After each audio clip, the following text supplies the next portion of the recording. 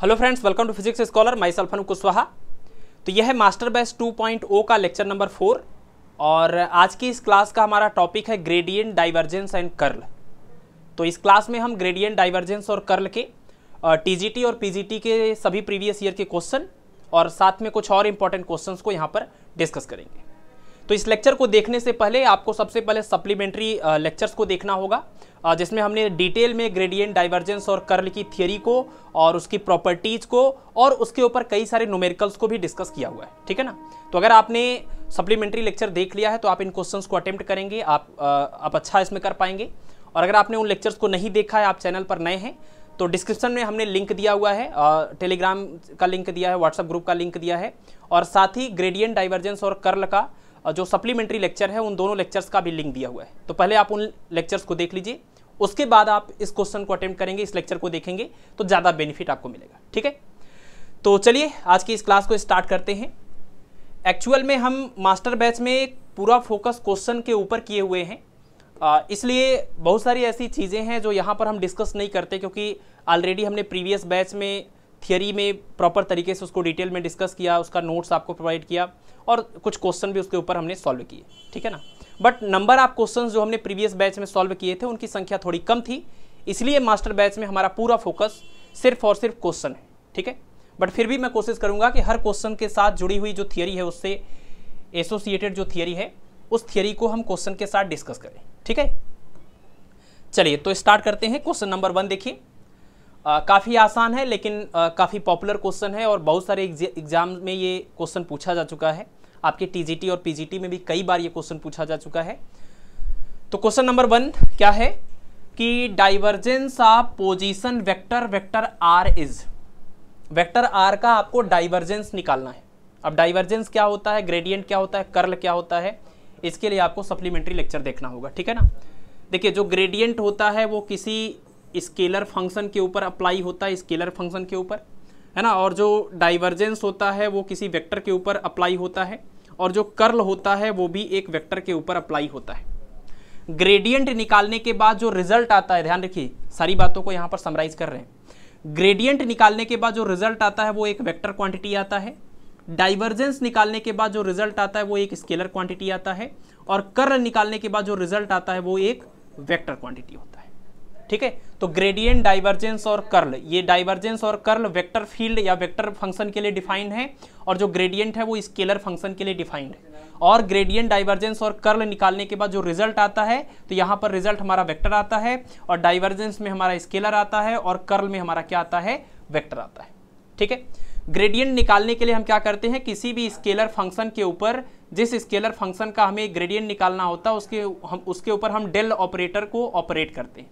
लेकिन इस क्वेश्चन में हमें डाइवर्जेंस पूछा हुआ है तो डाइवर्जेंस हमेशा एक वेक्टर का हम निकालते हैं। और इस क्वेश्चन में वेक्टर क्या है? Position vector. तो ये पोजीशन वेक्टर आपका है वेक्टर आर, और पोजीशन वेक्टर आर को हम लिखते हैं ऐसे, x, i cap plus y j cap plus z k cap.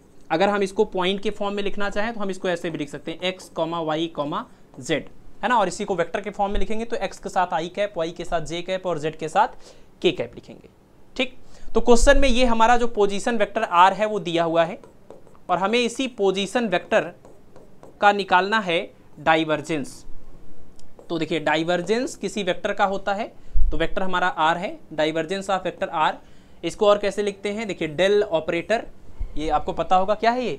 Del operator उसके बाद डॉट और उसके बाद आपका ये मतलब डाइवर्जेंस का मतलब डेल ऑपरेटर का डॉट प्रोडक्ट करेंगे इस वेक्टर आर के साथ। इसमें जो डेल ऑपरेटर है, इसकी अगर बात बताएँ आपको तो आपको पता है इसको हम डेल ऑपरेटर बोलते हैं। डेल ऑपरेटर बोलते हैं और इसी का दूसरा नाम क्या है? नेबला नेवला नहीं नेवला नहीं नेबला डेल ऑपरेटर को हम नेबला भी बोलते हैं और ये एक ऑपरेटर है। कैसा ऑपरेटर है? तो आप कह सकते हैं ये एक डिफरेंशियल ऑपरेटर है। ये क्या है? एक डिफरेंशियल ऑपरेटर है। तो डेल ऑपरेटर को कैसे लिखा जाता है, ये भी आपको पता होना चाहिए। डेल ऑपरेटर को हम ऐसे लिखते हैं। डेल ऑपरेटर के ऊपर वेक्टर लगाते हैं और ये होता है partial differentiation del by del x i cap फिर del by del by j cap फिर del by del z k cap यही हमारा डेल ऑपरेटर है या नेबला है, जो कि एक टाइप का डिफरेंशियल ऑपरेटर है। ठीक है? इसको अगर हम इन जनरलाइज्ड फॉर्म में लिखें, जैसे हमने इस चीज़ को इस तरीके से भी लिखा, वैसे ही हम इस चीज़ को अगर जनरलाइज्ड वे में लिखें तो हम कह सकते हैं कि हम किसी फ़ंक्शन का क्या कर रहे हैं? पार्शियल डिफरेंशिएशन है ना? पार्शियल डिफरेंशिएशन सपोज़ हमारे पास कोई एक स्केलर फ़ंक्शन एफ़ होता तो उसका हम पार्शियल डिफरेंशिएशन करते तो डेल एफ़ अपान आप कह देते क्या? अगर सपोज़ ये, इसको हम एफ़ के ऊपर ऑपरेट करते, ये पूरा हम एफ़ के ऊपर ऑपरेट करते तो ये आ जाता हमारा डेल एफ़ अपान क्या? डेल आर यही करने का मतलब। डेल एफ़ अपान मतलब देखिए del by del x, del by del y, del by del z, इसका मतलब जो फ़ंक्शन एफ़ है, उस फ़ंक्शन एफ़ का एक बार एक्स के साथ डिफरेंशिएशन करेंगे, ये फ़र्स्ट वाला पार्ट आएगा। उसके साथ में यूनिट वेक्टर भी लिखेंगे। इसके बाद हम इसको सेकंड वाले के साथ ऑपरेट करेंगे, ये वाले को ऑपरेट करेंगे, डिफरेंशिएट करेंगे पार्शियल, फिर उसके साथ एक यूनिट वेक्टर जे कैप लिखेंगे। तो इन जनरल हम del f upon del r बोल रहे हैं। आर का मतलब एक्स, वाई और जेड तीनों कंबाइंड हैं। तो जो यूनिट वेक्टर यहाँ लिखेंगे साथ में आई कैप जे कैप और के कैप तो उसको इन जनरल हम एक यूनिट वेक्टर आर कैप बोल रहे हैं, है ना? Del f upon del r और यहाँ पर आर कैप इस वेक्टर आर के डायरेक्शन में क्या? यूनिट वेक्टर ठीक? तो इसको लिखने का एक तरीका ये भी है। ये सारी चीज़ें बेसिक इंट्रोडक्शन के लिए हमने आपको बता दी। क्वेश्चन के ऊपर आ जाते हैं। तो हमारा ये देखिए पोजीशन वेक्टर आर दिया हुआ है। हमें क्या निकालना है? पार्शियल सॉरी डाइवर्जेंस निकालना है। Divergence of position vector r. तो निकाल लीजिए divergence. Del dot vector r is equal to del by del x i cap plus del by del y j cap plus del by del z k cap. और इसका dot product करेंगे जिसके साथ वो are है। Are मतलब क्या? X i cap plus y j cap plus z k cap. अब आपको पता ही है कि दोनों का जब हम डॉट प्रोडक्ट करेंगे तो आई कैप और आई कैप के जो कोफिशियंट है वो आपस में मल्टीप्लाई होंगे। जे कैप और जे कैप के होंगे के कैप और के कैप के होंगे। डॉट प्रोडक्ट निकालना आपको आता हो, होगा। और अगर नहीं आता होगा तो आप पिछले दो लेक्चर हमने बताए थे lecture number one vector analysis analysis का और वेक्टर लेक्चर नंबर टू। उन दोनों लेक्चर को आप देख लीजिए उसमें हमने डॉट प्रोडक्ट और क्रॉस प्रोडक्ट के बारे में बात की। ठीक है? तो डॉट प्रोडक्ट करने के बाद क्या आ जाएगा? Del dot r is equal to del by del x उसके बाद ये है एक्स फिर डेल बाई डेल वाई ये वाला डेल बाई डेल वाई और उसके साथ में क्या है y plus del by del z और उसके साथ में ये क्या है? जेड देखिए, x का x के साथ डिफरेंशिएशन वन y का y के साथ डिफरेंशिएशन वन और z का z के साथ डिफरेंशिएशन वन कुल मिला के कितना आ गया? थ्री तो डेल डॉट आर जिसको हम डाइवर्जेंस ऑफ़ आर बोलेंगे, वो कितना आ गया? थ्री और ये एक बहुत ही जाना पहचाना सा आंसर है, इसको आप याद भी रख सकते हैं। देखिए ग्रेडियंट डाइवर्जेंस और कर्ल की अगर हम बात करें तो इसमें बहुत सारी चीज़ें आपको दिमाग में रखनी चाहिए, है ना? रेडी टू यूज़ आपको करना होगा, तभी जाकर के आप एग्ज़ाम में टाइम बचा पाएँगे। नहीं तो इसमें कई सारे, आप आगे देखेंगे, कई सारे ऐसे भी क्वेश्चन हैं, जिनको करने में ढेर सारा टाइम आप लगा देंगे, जबकि अगर आपको वो फार्मूला याद होता तो आप उसको, है ना बीस से सेकंड बीस से पच्चीस सेकंड तीस सेकंड के अंदर आप उस क्वेश्चन को सॉल्व कर सकते हैं। ठीक है? चलिए तो इस क्वेश्चन का आंसर हो गया ऑप्शन नंबर सी यानी कि थ्री नोट कर लीजिए स्क्रीनशॉट ले लीजिए, जितनी भी चीज़ें यहाँ बताई गई हैं, ये सब इन्फॉर्मेशन के लिए आपके साथ। ठीक? आगे बढ़िए। क्वेश्चन नंबर टू इसमें देखिए क्या दिया है? Gauss divergence theorem relates a Gauss divergence theorem जो होता है, वो रिलेट करता है line integral to surface integral यानी लाइन इंटीग्रल को सरफेस इंटीग्रल के साथ। दूसरा है line integral to volume integral, तीसरा है surface integral to another surface integral, और लास्ट है surface integral to volume integral. मतलब गॉस डाइवर्जेंस थियरम में कौन किसका किसके साथ रिलेशन दिया जाता है, ये आपको बताना है। तो इसके लिए हम यहाँ पर फार्मूला लिख देते हैं। एक होता है आपका Stokes curl theorem Stokes curl theorem अगर आपने सप्लीमेंट्री लेक्चर देखा है तो ये आपका रिवीजन होगा। नहीं देखा है तो पहले आप उसको देख लीजिए। तो ये चीज़ें ज़्यादा अच्छी अच्छे समझ में आएँगे। स्टोक्स कर्ल थ्योरम की बात करें तो इसमें क्या होता है? इसमें हम लाइन इंटीग्रल को, जैसे कोई कोई वेक्टर फ़ंक्शन ए है, और इसका लाइन इंटीग्रल कर रहे हैं तो इस लाइन इंटीग्रल को सरफेस इंटीग्रल में कन्वर्ट करने के लिए ये यूज़ किया जाता है, और कर्ल नाम है। कर्ल थियरम इसीलिए नाम है, क्योंकि यहाँ पर कर्ल हो जाता है उस वेक्टर का। ठीक है ना? और ये सरफेस के साथ इंटीग्रल और चूँकि ये वेक्टर आएगा, ये वेक्टर आएगा तो दोनों के बीच में डॉट आता है, डॉट। ये है आपका स्टोक्स कर्ल थियरम, इसको आप ध्यान रखिए, जो लाइन इंटीग्रल को सरफेस इंटीग्रल से रिलेट करता है। यहाँ डॉट प्रोडक्ट हो रहा है, dot product. Curl of a करने पर एक वेक्टर आएगा, और ये डी के साथ ये भी वेक्टर है तो यहाँ डॉट रहेगा। दूसरा आपका क्या है? दूसरा आपका Gauss divergence theorem. Gauss divergence theorem. Gauss divergence theorem में क्या होगा? इसमें हम सरफेस इंटीग्रल को वॉल्यूम इंटीग्रल से रिलेट करते हैं। अगर सरफेस इंटीग्रल हो रहा हो किसी वेक्टर फ़ंक्शन का, ठीक है? अगर सरफेस इंटीग्रल हो रहा हो किसी वेक्टर फ़ंक्शन ए का तो इसको वॉल्यूम इंटीग्रल में कन्वर्ट करते हैं। तो इसका क्या हो जाएगा? डाइवर्जेंस देखिए, यहाँ कर्ल लिखा था कर्ल हुआ। इस फ़ंक्शन का यहाँ डाइवर्जेंस लिखा हुआ, इस फ़ंक्शन का डाइवर्जेंस हो जाएगा। तो डाइवर्जेंस ऑफ़ वेक्टर ए और उसके साथ में क्या लिखा जाएगा? यहाँ वॉल्यूम इंटीग्रल ठीक है? तो ये आपका दूसरा फार्मूला हो गया और इसमें क्या हो रहा है? सरफेस इंटीग्रल, वॉल्यूम इंटीग्रल से रिलेट हो रहा है। इन दोनों थियरम को आप याद रखें, ठीक है? इनके ऊपर कई सारे क्वेश्चन बनेंगे। और यही दो थियरम आपके सिलेबस में भी है। स्टोक्स थियरम और Gauss divergence theorem Green's theorem वगैरह आपको नहीं देना है, ठीक है? तो इस क्वेश्चन में पूछा गया था गॉस डाइवर्जेंस थियरम किसको किससे रिलेट करता है? तो सरफेस इंटीग्रल को वॉल्यूम इंटीग्रल के साथ रिलेट करता है आपका गॉस डाइवर्जेंस थियरम तो इसमें ऑप्शन है सरफेस टू वॉल्यूम यानी कि ऑप्शन नंबर डी करेक्ट हो जाएगा। ठीक है, इसको आप नोट कर लीजिए। अगला क्वेश्चन देखें। अगला क्वेश्चन देखिए। आज की क्लास में टोटल ट्वेंटी टू क्वेश्चन है, जिसमें से ट्वेंटी क्वेश्चन हम अटेम्प्ट करेंगे, बाकी दो क्वेश्चन आपके लिए। Question number three if the curl of a vector function is zero then the vector function may be expressed as अगर किसी वेक्टर फ़ंक्शन का कर्ल ज़ीरो हो जाए तो उस वेक्टर फ़ंक्शन को हम किस तरीके से लिख सकते हैं? सपोज़ कोई एक वेक्टर फ़ंक्शन हमारे पास है, करें इस वेक्टर फ़ंक्शन का अगर कर्ल ज़ीरो हो जाए, अगर किसी वेक्टर फ़ंक्शन का कर्ल ज़ीरो हो जाए मतलब डेल क्रॉस ए, इसी को बोलते हैं, कर्ल, है ना? कर्ल ऑफ़ वेक्टर ए को डेल क्रॉस ए भी बोलते हैं। तो डेल क्रॉस ए अगर ज़ीरो हो जाए तो इस वेक्टर फ़ंक्शन को हम कैसे लिख सकते हैं, यही पूछ रहे हैं। तो ऑप्शन में क्या क्या है? Divergence of some vector function किसी दूसरे फ़ंक्शन के डाइवर्जेंस के फॉर्म में, किसी दूसरे फ़ंक्शन के कर्ल के फॉर्म में, किसी दूसरे स्केलर फ़ंक्शन के ग्रेडियंट के फॉर्म में और divergence of some scalar function ये एक प्रॉपर्टी आप ध्यान रखें। जब भी किसी वेक्टर फ़ंक्शन का कर्ल हम निकालते हैं वेक्टर का ही कर्ल निकलता है स्केलर का कर्ल नहीं होता है। जब भी किसी वेक्टर फ़ंक्शन का हम कर्ल निकालते हैं और कर्ल निकालने पर वो ज़ीरो हो जाता है तो ऐसे में हम इस वेक्टर को क्या लिख सकते हैं? इसको हम किसी दूसरे स्केलर फ़ंक्शन के ग्रेडियंट के फॉर्म में लिख सकते हैं। ये ध्यान रखिए। अगर curl of vector a equal to zero है तो हम वेक्टर ए को किसी स्केलर फ़ंक्शन के ग्रेडियंट के फॉर्म में लिख सकते हैं। ठीक? तो ये आंसर है इसका। तो आप इसमें ढूंढ लीजिए। Gradient of some scalar function, यानी कि ऑप्शन नंबर सी क्या हो जाएगा?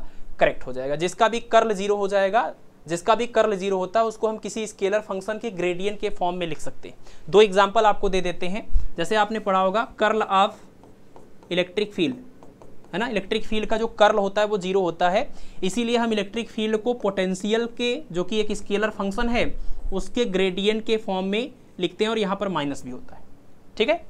तो देखिए, यहाँ पर हमने क्या किया? जब हम इलेक्ट्रिक फ़ील्ड जो कि एक वेक्टर फ़ंक्शन है उसका कर्ल ज़ीरो हुआ तो हमने उसको किसी स्केलर फ़ंक्शन के ग्रेडियंट के फॉर्म में लिख लिया। बिल्कुल ऐसा ही एक एग्ज़ाम्पल और है। आप अगर फोर्स के फॉर्म में लिखें इसी को, curl of force, f equal to zero तो ऐसे में हम एफ़ को भी लिख सकते हैं क्या? इस एफ़ को क्या लिखेंगे? एफ़ को हम लिखेंगे निगेटिव यहाँ माइनस रहता है, और ग्रेडियंट ऑफ़ यू यहाँ पर जो यू है, वो भी क्या है? एक स्केलर फ़ंक्शन है। इस वी को हम बोलेंगे क्या?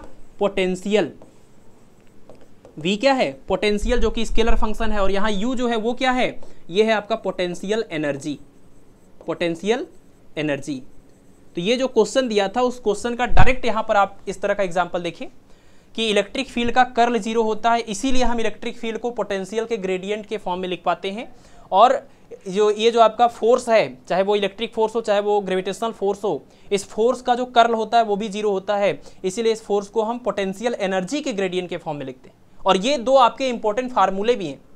इसके ऊपर भी एक क्वेश्चन आज की क्लास में करेंगे और इसके ऊपर भी एक क्वेश्चन करेंगे। तो ये फार्मूले भी आप याद रखें और ये प्रॉपर्टी भी आप याद रखें कि ऐसा जब होता है, तभी हम ऐसा लिख पाते और जिनके लिए भी कर्ल ज़ीरो होता है, जिस वेक्टर फ़ंक्शन के लिए भी कर्ल ज़ीरो होता है, उन वेक्टर फ़ंक्शन को हम क्या बोलते हैं? कंजर्वेटिव वो किस नेचर के होते हैं?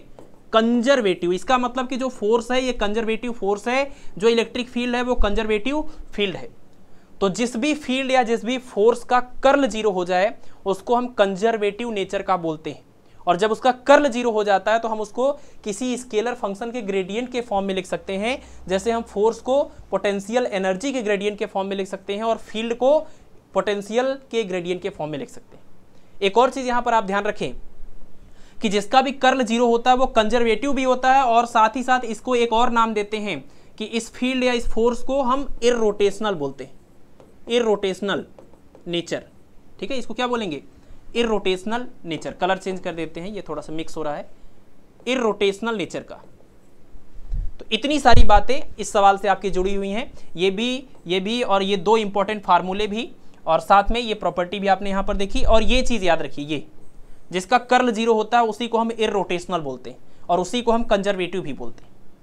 ठीक है, ये सारी बातें आप नोट कर लीजिए और इस क्वेश्चन का ऑप्शन नंबर सी जो है वो करेक्ट हो जाएगा। आइए अगले क्वेश्चन पर। Question number four if del dot a equal to zero then vector a is अगर किसी वेक्टर का डेल के साथ डॉट प्रोडक्ट ज़ीरो है, और डेल के साथ डॉट प्रोडक्ट को हम डाइवर्जेंस बोलते हैं मतलब डाइवर्जेंस ऑफ़ वेक्टर ए अगर ज़ीरो है तो जो वेक्टर ए है उसको हम क्या बोलेंगे? ऑप्शन है सोलेनोइडल इरोटेशनल दोनों कोई नहीं। तो आपने देखा अभी अभी इरोटेशनल होने के लिए क्या चाहिए होता है? कर्ल ज़ीरो होना चाहिए। अगर किसी वेक्टर का कर्ल ज़ीरो है that means del cross a zero है, तब हम जो ए है उसको क्या बोलेंगे? इरोटेशनल लेकिन सोलेनोइडल के लिए क्या होता है? जिसका डाइवर्जेंस ज़ीरो होता है divergence divergence of vector a अगर ज़ीरो है that means del dot a zero है तो इस वेक्टर ए को हम क्या बोलेंगे? इसको हम बोलेंगे सोलेनोइडल इनके ऊपर भी क्वेश्चन आता है। आपको कोई एक वेक्टर फ़ंक्शन दिया जाएगा वेक्टर ए या वेक्टर एफ़ कुछ भी नाम दे करके। उस उस वेक्टर फ़ील्ड का क्या होगा? कहा जाएगा कि अगर वो सोलेनोइडल नेचर का है तो आप उसमें एक वेरिएबल दिया जाएगा और उसकी वैल्यू पूछी जाएगी। तो अगर वो सोलेनोइडल नेचर का है तो उसका डॉट प्रोडक्ट आप ज़ीरो के बराबर कर दीजिए। अगर वो इरोटेशनल या कंजर्वेटिव नेचर का है तो उसका आप कर्ल जो है वो ज़ीरो कर दीजिए। तो ये इंपॉर्टेंट प्रॉपर्टी है, ये और ये। इस केस में डाइवर्जेंस ज़ीरो होने पर सोलेनोइडल और कर्ल ज़ीरो होने पर इरोटेशनल प्रॉपर्टी होती है। तो इस क्वेश्चन का जो आंसर हो जाएगा, डाइवर्जेंस ज़ीरो है तो क्या हो जाएगा? सोलेनोइडल। यानी जो वेक्टर ए है वो किस नेचर का है? सोलेनोइडल नेचर का है। अच्छा थोड़ा सा और एक चीज़ यहाँ पर आपको बता दें। सोलेनोइडल नेचर का मतलब क्या है? डाइवर्जेंस की जो वैल्यू होती है, वो एक्चुअल में डाइवर्जेंस जो होता है, वो बताता है rate of flow of flux. Rate of flow of flux. अब ये फ्लक्स चाहे एयर का हो वाटर का हो इलेक्ट्रिक फ़ील्ड का हो मैग्नेटिक फ़ील्ड का हो तो rate of flow of flux को मतलब कोई भी एक क्वांटिटी कितनी मात्रा में फ्लो हो रही है, उस चीज़ को रिप्रेजेंट करने के लिए हम डाइवर्जेंस का यूज़ करते हैं। और कर्ल का हम यूज़ करते हैं किस लिए? कि किसी भी वेक्टर फ़ंक्शन के अंदर, किसी भी वेक्टर फ़ंक्शन के अंदर कर्ल करने की या रोटेशन करने की कितनी प्रॉपर्टी ठीक है ना? तो रोटेशनल प्रॉपर्टी को पता करने के लिए हम कर्ल का यूज़ करते हैं और इसीलिए जब कर्ल ज़ीरो का हो जाता है तो हम कहते हैं इसके अंदर रोटेशनल प्रॉपर्टी नहीं है। दैट मीन्स ये क्या हो गया? इर रोटेशनल हो गया। इसीलिए कहते हैं। और डाइवर्जेंस जो होता है वो फ्लो ऑफ़ फ्लक्स को बताता है और फ्लो ऑफ़ फ्लक्स तीन टाइप के हो सकते हैं। देखिए क्या क्या हो सकते हैं? किसी फ़ंक्शन का डाइवर्जेंस जो है वो पॉजिटिव हो सकता है। किसी फ़ंक्शन का डाइवर्जेंस किसी वेक्टर फ़ंक्शन का डाइवर्जेंस निगेटिव भी हो सकता है। और उसका डाइवर्जेंस ज़ीरो भी हो सकता है। तो जब ये पॉजिटिव होगा, इसका मतलब ये, इसका मतलब ये कि जो फ्लक्स है, उसकी मात्रा मतलब आ रही है ज़्यादा और जा रही है कम। कोई भी चीज़ अगर आ रही है ज़्यादा और जा रही है कम, या एक तरह से ये कह लीजिए कि कोई चीज़ जब एक जगह से जहाँ से निकलती है ऐसे, कोई भी चीज़ एक जगह से जब निकलती है और ऐसे फैलती है तो इसका जो डाइवर्जेंस निकलता है वो पॉजिटिव आता है।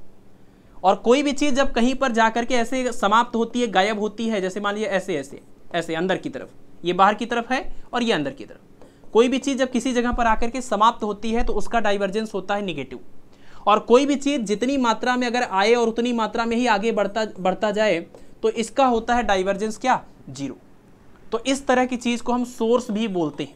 सोर्स जैसे कहीं से एक, मान लीजिए टोटी से पानी निकल रहा है तो जहाँ पर ये पानी गिर रहा है उस वाली जगह का डाइवर्जेंस हम निकालेंगे तो वो आएगा क्या? पॉजिटिव और जहाँ पर ये जाकर के मतलब किसी अंदर, नाले के अंदर जा रहा है तो वहाँ पर जो डाइवर्जेंस आप निकालेंगे वो क्या होगा? नेगेटिव और बीच में जो एक ये पाइप है और इसमें एकदम यूनिफॉर्मली ये फ्लो हो रहा है, जितना आ रहा है उसी रेट से आगे बढ़ रहा है, इसका डाइवर्जेंस क्या होगा? ज़ीरो इसका डाइवर्जेंस क्या होगा? ज़ीरो तो ये देखिए, एक एक सोलेनोइड की तरह दिख रहा है ना? सोलेनोइड समझते हैं? परिनालिका. ऐसे सोलेनोइड इस तरह से. जिस रेट से कोई चीज़ आ रही है, उसी रेट से आगे जाएगी। बिल्कुल यूनिफॉर्म रास्ता दोनों तरफ़ है, इसलिए इसको हम सोलेनोइडल बोलेंगे। ठीक है ना? तो जहाँ पर डाइवर्जेंस ज़ीरो होगा, वहाँ उसको सोलेनोइडल बोलेंगे उस वेक्टर फ़ील्ड को, और जहाँ पर वो डाइवर्जेंस पॉजिटिव होगा तो उसको एज अ सोर्स बोलेंगे। जहाँ निगेटिव होगा, उसको एज अ सिंक बोलते हैं। ठीक है ना? Positive divergence source negative divergence sink और डाइवर्जेंस ज़ीरो मतलब क्या? सोलेनोइडल पॉजिटिव डाइवर्जेंस मतलब क्या? जो फ्लूइड है, जो लिक्विड है, आप कह सकते हैं वो एक्सपेंड हो रही है। वो क्या हो रही है? एक्सपेंड हो रही है। और निगेटिव का मतलब क्या? वो कॉन्ट्रैक्ट हो रही है। और इसका मतलब क्या? इनकम्प्रेसिबल है। इनकम्प्रेसिबल ना ही एक्सपेंड हो रही है और ना ही कॉन्ट्रैक्ट हो रही है। है ना? ये मीनिंग होते हैं। फ़िज़िकल सिग्निफिकेंस होता है डाइवर्जेंस का। तो आप इस तरीके से और इस तरीके से भी इसको याद रखें। फ़िलहाल आपको जब क्वेश्चन पूछा जाएगा तो वो सोलेनोइडल और इरोटेशनल के ऊपर ही ज़्यादातर क्वेश्चन पूछे जाते हैं नोमेरिकल आते हैं। जब डाइवर्जेंस ज़ीरो हो जाएगा तो सोलेनोइडल हो गया और कर्ल ज़ीरो हो गया तो वो इरोटेशनल और कंजर्वेटिव हो गए। ठीक? चलिए इसको नोट करिए, अगला क्वेश्चन देखते हैं। क्वेश्चन नंबर फाइव आप देख रहे हैं, एक एक क्वेश्चन के साथ कितनी कितनी चीज़ें एसोसिएट हैं और ये जितनी बार हम बोलेंगे, उतना अच्छा आपके लिए होगा। ये चीज़ें सुनते सुनते आपको याद हो जाएँगी। अगर हम ये सोच रहे हैं कि आपने तो पीछे पढ़ा होगा, हमने तो लेक्चर मॉर्निंग में प्रोवाइड ही किया था और हम उस चीज़ को बिल्कुल भी मेंशन ना करें तो फिर ये नुकसान करेगा आपके लिए। ठीक है? और आप लोग सारे लेक्चर देखते नहीं है, ये भी मुझे पता है। If vector a is constant vector then del और ब्रैकेट में है आर डॉट मतलब vector r dot vector a will be और ये चार ऑप्शन दिए हुए इसमें वेक्टर आर क्या है और वेक्टर ए क्या है? वेक्टर ए जो है, वो है कांस्टेंट वेक्टर और वेक्टर आर जो है, वो है आपका पोजीशन वेक्टर तो पोजीशन वेक्टर आर का मतलब यही है एक्स आई के प्लस वाई जे के प्लस जेड के के और वेक्टर ए एक कांस्टेंट वेक्टर है। कांस्टेंट वेक्टर मतलब इसका जो मैग्नीट्यूड है वो कांस्टेंट है। और किसी भी वेक्टर का मैग्नीट्यूड कांस्टेंट तभी होगा जब उसका एक्स वाई और जेड जो कंपोनेंट आ रहा है वो कांस्टेंट होना चाहिए। यहाँ पर देखिए एक्स वाई और जेड जो है वो कांस्टेंट नहीं है वेरिएबल है। अलग अलग पॉइंट इस, इसकी वैल्यू अलग अलग हो सकती है। लेकिन जो वेक्टर ए है वो एक कांस्टेंट वेक्टर है। ध्यान रखिएगा ये नाम कई बार यूज़ होता है न्यूमेरिकल क्वेश्चन बनाने में। तो वेक्टर ए अगर एक कांस्टेंट वेक्टर है, इसका मतलब इसका जो एक्स कंपोनेंट आ रहा है, वेक्टर ए का, और जो इसका वाई कंपोनेंट आ रहा है, और जो इसका जेड कंपोनेंट आ रहा है, ये तीनों के तीनों क्या हैं? कांस्टेंट है। मतलब यहाँ पर ए एक्स ए वाई और ए जेड जो है, वो क्या है? ये कांस्टेंट है। ठीक है ना? इनका अगर हम डिफ्रेंसिएशन किसी के साथ करेंगे तो क्या हो जाएगा? ज़ीरो जैसे टू थ्री फोर नंबर का हम डिफ्रेंसिएशन करते हैं ज़ीरो आता है। वैसे आपके ए एक्स ए वाई और ए जेड की वैल्यू एकदम फिक्स है। एक्स वाई और जेड की वैल्यू फिक्स नहीं है।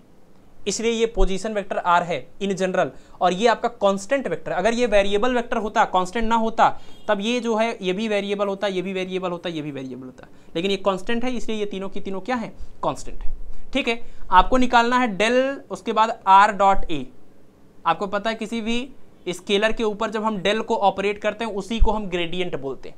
यही सवाल को ये भी लिखा जा सकता है क्या? इसको बोल सकते हैं हम gradient of gradient of vector r dot vector a और देखिए, आपका जो ग्रेडियंट होता है, वो हमेशा स्केलर फ़ंक्शन के ऊपर ऑपरेट होता है। और ये आर डॉट ए करेंगे डॉट प्रोडक्ट करने के बाद क्या आता है? स्केलर रिज़ल्ट आता है। क्रॉस प्रोडक्ट करने पर वेक्टर आता है। तो ये एक स्केलर नंबर यहाँ पर आएगा और उसी स्केलर के ऊपर ग्रेडियंट यानी कि ग्रेडियंट मतलब क्या? डेल ऑपरेटर जो है उसी को ऑपरेट कर रहे हैं। इसी को ग्रेडियंट बोलते हैं। ठीक? ग्रेडियंट आपका क्या बताता है? ग्रेडियंट आप बताता है ग्रेडियंट बताता है direction of direction of maximum change किसी भी क्वांटिटी का मैक्सिमम चेंज जिस डायरेक्शन में आता है, उस डायरेक्शन को बताता है आपका ग्रेडियंट और इसी को हम एक तरह से ये भी बोल सकते हैं नॉर्मल सरफेस भी देता है ये। नॉर्मल सरफेस, ठीक है, नॉर्मल वेक्टर ऑन लेबल सरफेस नॉर्मल वेक्टर ये बताता है। कोई भी सरफेस है, उसके ऊपर जो नॉर्मल वेक्टर है, उस नॉर्मल वेक्टर के डायरेक्शन को बताने के लिए हमें क्या पता करना चाहिए? ग्रेडियंट निकालना चाहिए। तो नॉर्मल वेक्टर ऑन लेबल सरफेस इसको लेबल सरफेस बोलेंगे। लेबल सरफेस पर अगर हमें नॉर्मल वेक्टर निकालना है तभी ग्रेडियंट निकालते हैं। और अगर हमें ये निकालना हो कि कोई भी क्वांटिटी किस डायरेक्शन में सबसे ज़्यादा चेंज हो रही है तो उसमें भी हम क्या निकालते हैं? ग्रेडियंट निकालते हैं। ठीक है? तो हमें पता करना है आर डॉट ए तो यहाँ से हम निकालेंगे पहले r dot a dot product करिए आई कैप आई कैप में एक्स और ए एक्स हो जाएगा। एक्स इंटू ए एक्स यहाँ पर आ जाएगा अगला। वाई इंटू ए वाई और अगला आ जाएगा जेड इंटू ए जेड ये तो हमारा नॉर्मल सा आर डॉट ए हुआ। अब इसका हम, इसके ऊपर हम डेल जो ऑपरेटर है नेबला उसको ऑपरेट करते हैं। यानी कि gradient of r dot vector a निकालते हैं। और आर डॉट वेक्टर ए निकालने के लिए ग्रेडियंट ऑपरेटर को ऑपरेट करना। और ग्रेडियंट ऑपरेटर का मतलब आप जानते हैं del by del x i cap plus del by del y j cap plus del by del z k. Cap ये हमारा डेल ऑपरेटर हुआ, ठीक? और उसके बाद ये डेल ऑपरेटर ये यहाँ पर डैश नहीं रहेगा, इसको मिटाना पड़ेगा। सिर्फ़ ग्रेडियंट ऑपरेटर को ऑपरेट कर रहे हैं। अब इसके बाद यहाँ पर वैल्यू रख दीजिए, ये जो हम निकाले हैं हमने x a x plus y a y plus z a z अब जरा देखिए कि ये जो del by del x i cap है, ये इसके ऊपर ऑपरेट होगा, फिर इसके ऊपर ऑपरेट होगा, फिर इसको भी ऑपरेट करेगा तीनों के ऊपर।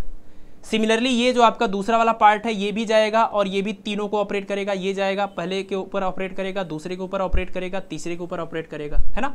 और इसी तरह से अब तीसरा वाला जो है, वो भी आपका आगे जाएगा और ये भी तीनों के ऊपर ऑपरेट करेगा। इसके ऊपर ऑपरेट करेगा, इसके ऊपर ऑपरेट करेगा और इसके ऊपर भी ऑपरेट करेगा। तो इसका मतलब एक एक जो पार्ट है, वो तीनों के ऊपर ऑपरेट होगा। और देखिए, पहले वाले पार्ट में डेल बाई डेल एक्स है मतलब एक्स के रिस्पेक्ट में पार्शियल डिफरेंशिएशन करना है। तो इसका मतलब कि जो x वाले आपके टर्म होंगे, सिर्फ़ वही डिफरेंशिएट होगा। बाकी y वाले और z वाले तो x के लिए एज अ कांस्टेंट काम करेंगे, क्योंकि पार्शियल डिफरेंशिएशन कर रहे हैं। तो x के रिस्पेक्ट में जब हम, यानी x, इस पहले वाले टर्म से हम इसको इसको इसको ऑपरेट करेंगे तो दूसरा और तीसरा तो ज़ीरो ही होना है, क्योंकि इसमें तो x कहीं है ही नहीं। इसमें x है। इसी तरह से इस वाले को जब लेकर चलेंगे वाई वाले को, इसको ऑपरेट करेंगे तो ज़ीरो ही हो जाएगा क्योंकि इसमें वाई नहीं है। इसको भी ऑपरेट करेंगे ज़ीरो ही हो जाएगा। इसमें भी वाई नहीं है। सिर्फ़ बीच वाला जो है वो इसके ऊपर ऑपरेट होने पर नॉन ज़ीरो वैल्यू देगा। इसी तरह से थर्ड वाला जो है वो थर्ड वाले को ऑपरेट करेगा। बाकी दोनों केस में क्या आएगा? ज़ीरो आएगा। इसलिए हम इसका जो रिज़ल्ट लिखेंगे यहाँ पर वो क्या आएगा? हम यहाँ पर जो रिज़ल्ट इसका लिखेंगे वो आएगा, ये था हमारा डेल बाई डेल एक्स ना आई कैप और del by del y j cap del by del z k cap तो पहले वाले को, पहले वाले के ऊपर ऑपरेट करते हैं। तो क्या हो जाएगा? डेल बाई डेल एक्स को ऑपरेट करेंगे किसके ऊपर? एक्स इंटू ए एक्स के ऊपर और साथ में ये आई कैप लिखेंगे। प्लस दूसरे वाले को ऑपरेट करिए डेल बाई डेल वाई को किसके ऊपर? वाई इंटू ए वाई के ऊपर। और उसके बाहर में उसका वेक्टर हो गया क्या? जे कैप और तीसरे वाले को, तीसरे वाले के ऊपर ऑपरेट करिए डेल बाई डेल जेड और ब्रैकेट में जेड इंटू ए जेड उसके बाद क्या? के कैप बस इसको आप सॉल्व कर लीजिए। देखिए एक्स के रिस्पेक्ट में डिफ्रेंशिएट करना है और ए एक्स ए वाई और ए जेड क्या है? आपने शुरुआत में ही बोला कि जो ए एक्स है और ए वाई है और ए जेड है, ये क्या है? ये कांस्टेंट हैं। तभी तो ये हमारा वेक्टर ए कांस्टेंट वेक्टर होगा। तो अगर ये तीनों के तीनों कांस्टेंट हैं तो एज अ कांस्टेंट ये बाहर निकलेगा और एक्स का डिफ्रेंसिएशन करने पर आएगा वन तो यहाँ से सिर्फ़ क्या बचेगा? ए एक्स और आई कैप तो ये बन गया आपका क्या? ए एक्स यहाँ से बचा ए एक्स और ये आई कैप ठीक है? और यहाँ से देखिए, y को, y के रिस्पेक्ट में डिफ्रेंशिएट करने पर वन आएगा और ये a y as a constant बाहर आएगा। तो a y into j cap बचेगा। A y into j cap और प्लस नेक्स्ट वाले में यहाँ पर क्या आ जाएगा? इसी तरह से ए जेड बचेगा और साथ में के कैप आएगा। ये किसके बराबर है? ये है gradient of vector r dot vector a और आप देखिए, ये जो पूरा रिज़ल्ट आया, वही आपका क्या है? वेक्टर ए है। मतलब हमने आर डॉट ए का जब ग्रेडियंट लिया तो जो रिज़ल्ट आया, वो किसके बराबर आ रहा है? वो एग्जैक्टली वेक्टर ए के बराबर आ रहा है। लेकिन शर्त यही है कि हमारा जो वेक्टर ए है, वो कैसा वेक्टर है? एक कांस्टेंट वेक्टर है। यानी उसके जो जितने भी कंपोनेंट हैं, वो सब कांस्टेंट है। ठीक है? तो इसका मतलब ऑप्शन नंबर कौन सा करेक्ट हो जाएगा? ऑप्शन नंबर सी करेक्ट हो जाएगा। इसको आप नोट कर सकते हैं स्क्रीनशॉट ले सकते हैं। बाकी इस चीज़ को भी आप ध्यान रखें कि ग्रेडियंट निकालने के लिए हमें क्या ग्रेडियंट से हमें क्या मिलता है? डायरेक्शन ऑफ़ मैक्सिमम चेंज या फिर normal vector on level surface ठीक है? क्वेश्चन नंबर सिक्स देखिए। Question number six gradient is defined for a dot dot point function आपने शुरुआत में ही देखा कि जो ग्रेडियंट होता है, वो एक स्केलर फ़ंक्शन के ऊपर ही ऑपरेट होता है। मतलब ग्रेडियंट जो है, वो एक स्केलर फ़ंक्शन के लिए डिफाइन होता है। फिर हमने क्या बताया? जो डाइवर्जेंस होता है, वो एक वेक्टर फ़ंक्शन के लिए डिफाइन होता है और जो कर्ल होता है, वो भी एक वेक्टर फ़ंक्शन के लिए डिफाइन होता है। तो ग्रेडियंट यानी कि डेल ऑपरेटर जो है, वो एक स्केलर फ़ंक्शन के ऊपर ऑपरेट हो रहा है। तो डेल फाइव तो इसका यहाँ पर क्या भरा जाएगा? यहाँ पर एक स्केलर पॉइंट फ़ंक्शन भरा जाएगा, यानी ऑप्शन नंबर ए करेक्ट हो गया। अगर यहाँ पर ग्रेडियंट की बजाय क्या लिखे होते? डाइवर्जेंस तो इसका आंसर क्या हो जाता? है वैक्टर अगर यहाँ पर कर्ल लिखे होते तो क्या हो जाता है आंसर यहाँ पर वैक्टर ठीक है? ये चीज़ आप ध्यान रखें। अगला question question number seven magnetic monopole does not exist because और ये चार ऑप्शन दिए हुए हैं। देखिए, इसके लिए सबसे पहले आपको ये जानना पड़ेगा कि मोनोपोल डाइपोल का क्या मतलब है। जैसे अगर हम इलेक्ट्रोस्टैटिक में बात करें तो आपने पढ़ा होगा एक पॉजिटिव चार्ज और एक निगेटिव चार्ज मिल करके एक इलेक्ट्रिक डाइपोल बनाते हैं, है ना? एक इलेक्ट्रिक डाइपोल बनाते हैं, जिसका अपना एक डाइपोल मोमेंट होता है। ठीक? अब जरा इमेजिन करिए कि अगर ये आपका इलेक्ट्रिक डाइपोल है और इसमें हम हैं कि एक पॉजिटिव चार्ज है और एक निगेटिव चार्ज है। लेकिन आपने ये भी तो पढ़ा होगा, कहीं पर अकेले सिर्फ़ पॉजिटिव चार्ज होता है। कहीं पर अकेले सिर्फ़ निगेटिव चार्ज भी होता है। यानी अगर हम इसको एज अ पोल ट्रीट करें पोल मतलब यही होता है जस्ट अपोजिट नेचर वाला। लेकिन चार्ज के केस में हम पॉजिटिव और निगेटिव बोलते हैं और मैग्नेटिक के केस में हम नॉर्थ पोल और साउथ पोल बोलते हैं। ठीक है? तो अगर हम इलेक्ट्रोस्टैटिक में बात करें तो अपोजिट पोल या एक तरह से आप कह सकते हैं मोनोपोल जो है वो एग्जिस्ट करते हैं। मोनो मतलब सिंगल पॉजिटिव या सिंगल निगेटिव एग्जिस्ट करता है इलेक्ट्रोस्टैटिक में। और इसके लिए एक फार्मूला भी आपने पढ़ा होगा जिसको हम गॉस ऑफ़ इलेक्ट्रोस्टैटिक बोलते हैं, जो कहता है कि e dot d s equal to q upon epsilon naught ये फार्मूला आपने पढ़ा था, ये इलेक्ट्रोस्टैटिक में यूज़ होता है, इसको हम बोलते हैं गॉस ऑफ़ इलेक्ट्रोस्टैटिक। इसको बोलते हैं क्या? गॉस ऑफ़ इलेक्ट्रोस्टैटिक, जो कि इलेक्ट्रिक फ्लक्स को बताता है।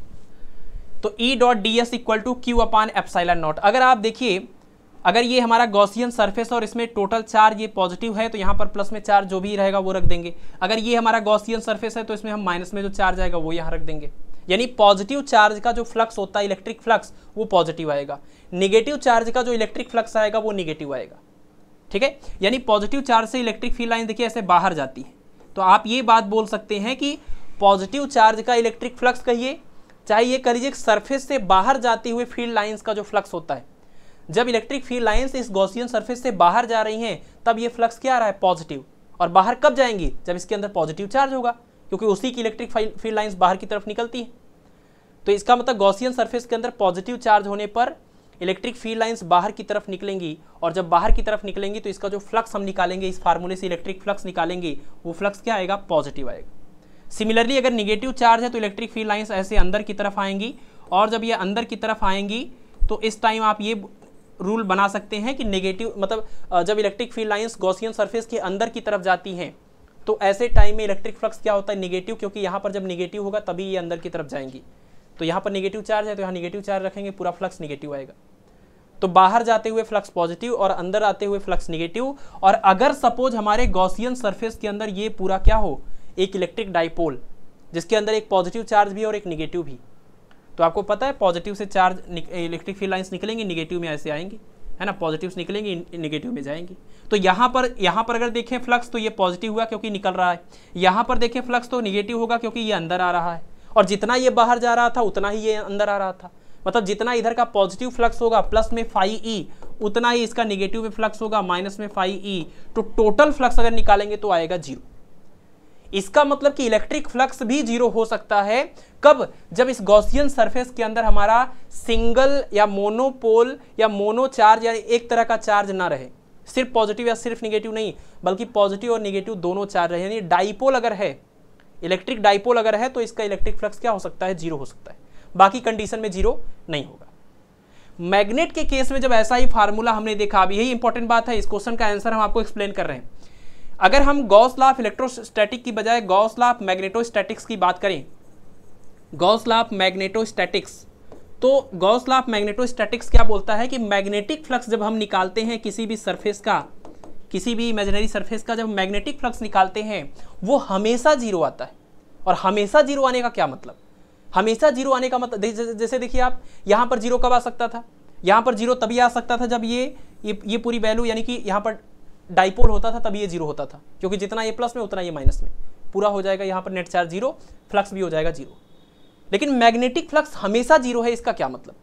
इसका मतलब ये कि अगर हम एक सरफेस इमेजिन करें और यहाँ पर एक मैग्नेट इमेजिन करें तो मैग्नेट में एक सिंगल पोल नहीं हो सकता। सिर्फ़ नॉर्थ पोल अगर होगा होगा तो ये ज़ीरो नहीं हो सकता।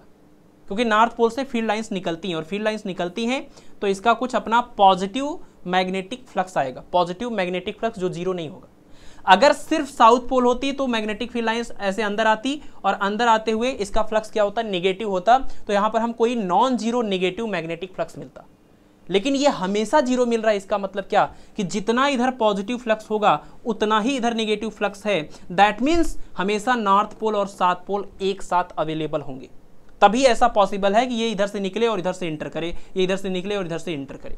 तो जितना इधर से ये पॉजिटिव होगा, उधर से इतना निगेटिव जितना इधर से ये पॉजिटिव, उधर से इतना निगेटिव दोनों पॉजिटिव और निगेटिव मिलकर हमेशा क्या हो जाएँगे? ज़ीरो तो मैग्नेटोस्टैटिक्स में ये हमेशा ज़ीरो होता है, लेकिन इलेक्ट्रोस्टैटिक में सिर्फ़ इलेक्ट्रिक डाइपोल के केस में ज़ीरो होता है।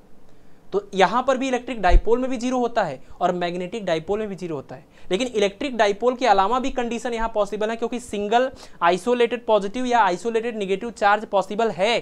लेकिन आइसोलेटेड नॉर्थ पोल या isolated south pole that means magnetic monopole single pole चाहे नॉर्थ चाहे साउथ ये एग्जिस्ट नहीं करता। अगर ये भी अकेले अकेले एग्जिस्ट करते तो इसकी वैल्यू भी कभी पॉजिटिव में कुछ मिलती, कभी निगेटिव मिलती और कभी ज़ीरो भी मिलता। लेकिन ये हमेशा ज़ीरो मिलता है दैट मीन्स हमेशा नॉर्थ पोल और साउथ पोल पेयर में होते हैं। जितना इधर से पॉजिटिव फ्लक्स होगा, बाहर निकलने वाला, उतना इधर का निगेटिव फ्लक्स होगा। इंटर करने वाला, इसी वजह से टोटल फ्लक्स क्या आएगा? ज़ीरो आएगा। तो इसको आप ध्यान रखिए कि जो गॉस लॉ ऑफ़ मैग्नेटोस्टैटिक्स है, उसी का ये कंक्लूजन है कि magnetic monopole does not exist magnetic monopole does not exist ये बात आप ध्यान रखिए। ये बहुत ही इंपॉर्टेंट बात है और कई बार आपके, आप टीजीटी और पीजीटी का प्रीवियस ईयर का क्वेश्चन पेपर देखिए, कई बार ये क्वेश्चन रिपीट किया गया है। बस थोड़ा बहुत ऑप्शन देने का तरीका चेंज हुआ है। ठीक है? अब जैसे इसी क्वेश्चन में आप देख लीजिए आपने देखा कि magnetic monopole does not exist उसका फार्मूला क्या था? आ, उसका ये जो रिज़ल्ट है वो है गॉस लॉ ऑफ़ मैग्नेटोस्टैटिक्स यानी कि b dot d s equal to zero यानी कि magnetic flux equal to zero यही है। मैग्नेटिक फ्लक्स यानी कि आप कह सकते हैं five b equal to zero यही बात है लेकिन ऐसा कोई ऑप्शन ही नहीं।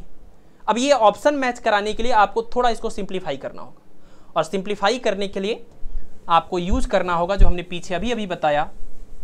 इस सरफेस इंटीग्रल को कन्वर्ट करना होगा। ये सरफेस इंटीग्रल को कन्वर्ट करना होगा वॉल्यूम इंटीग्रल में by using Gauss divergence theorem एक आपको ट्रिक बताते हैं याद करने के लिए।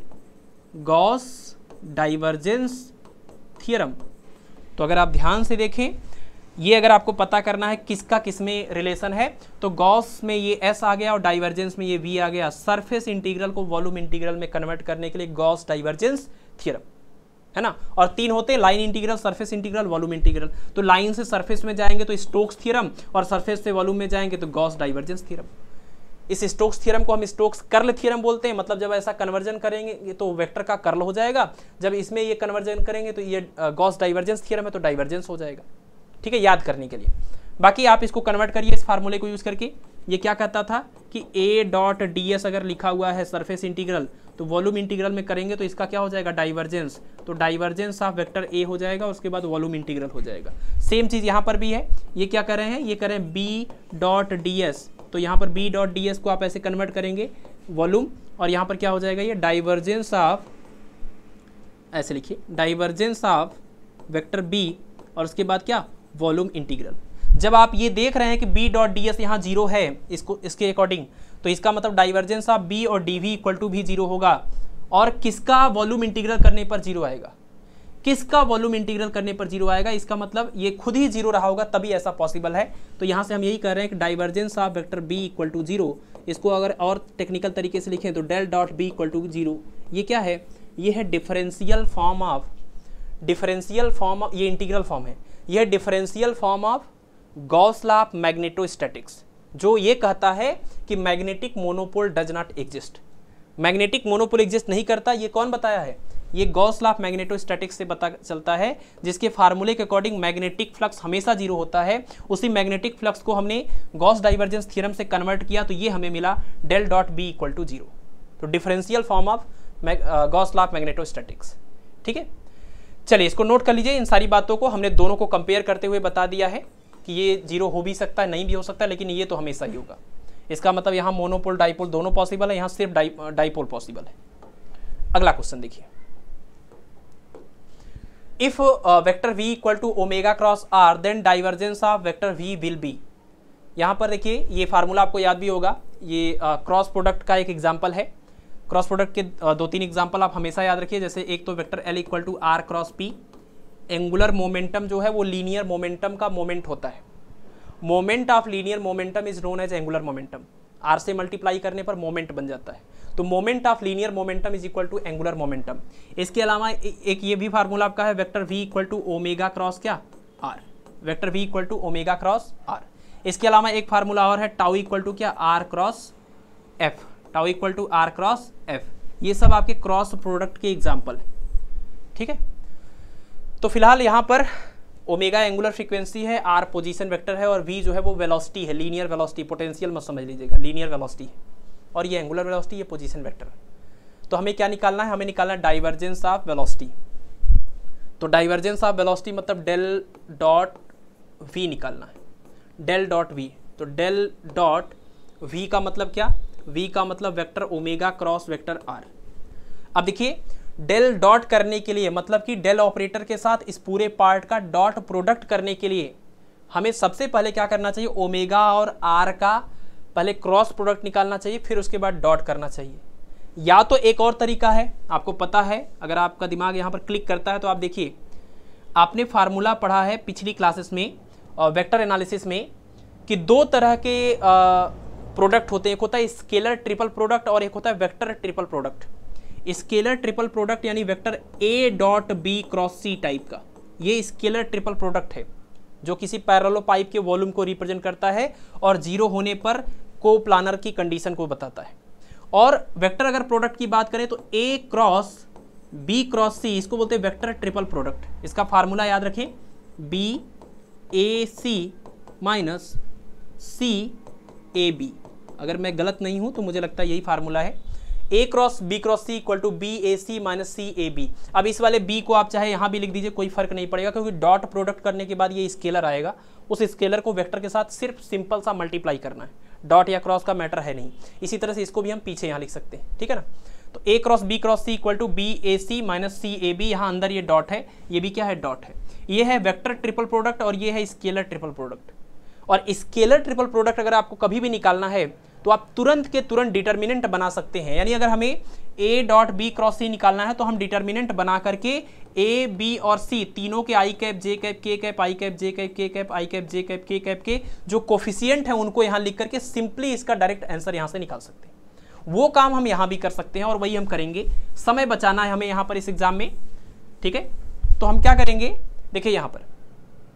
इस डेल का मतलब तो पता ही होगा डेल का मतलब del by del x i cap plus del by del y j cap, plus del by del z k cap.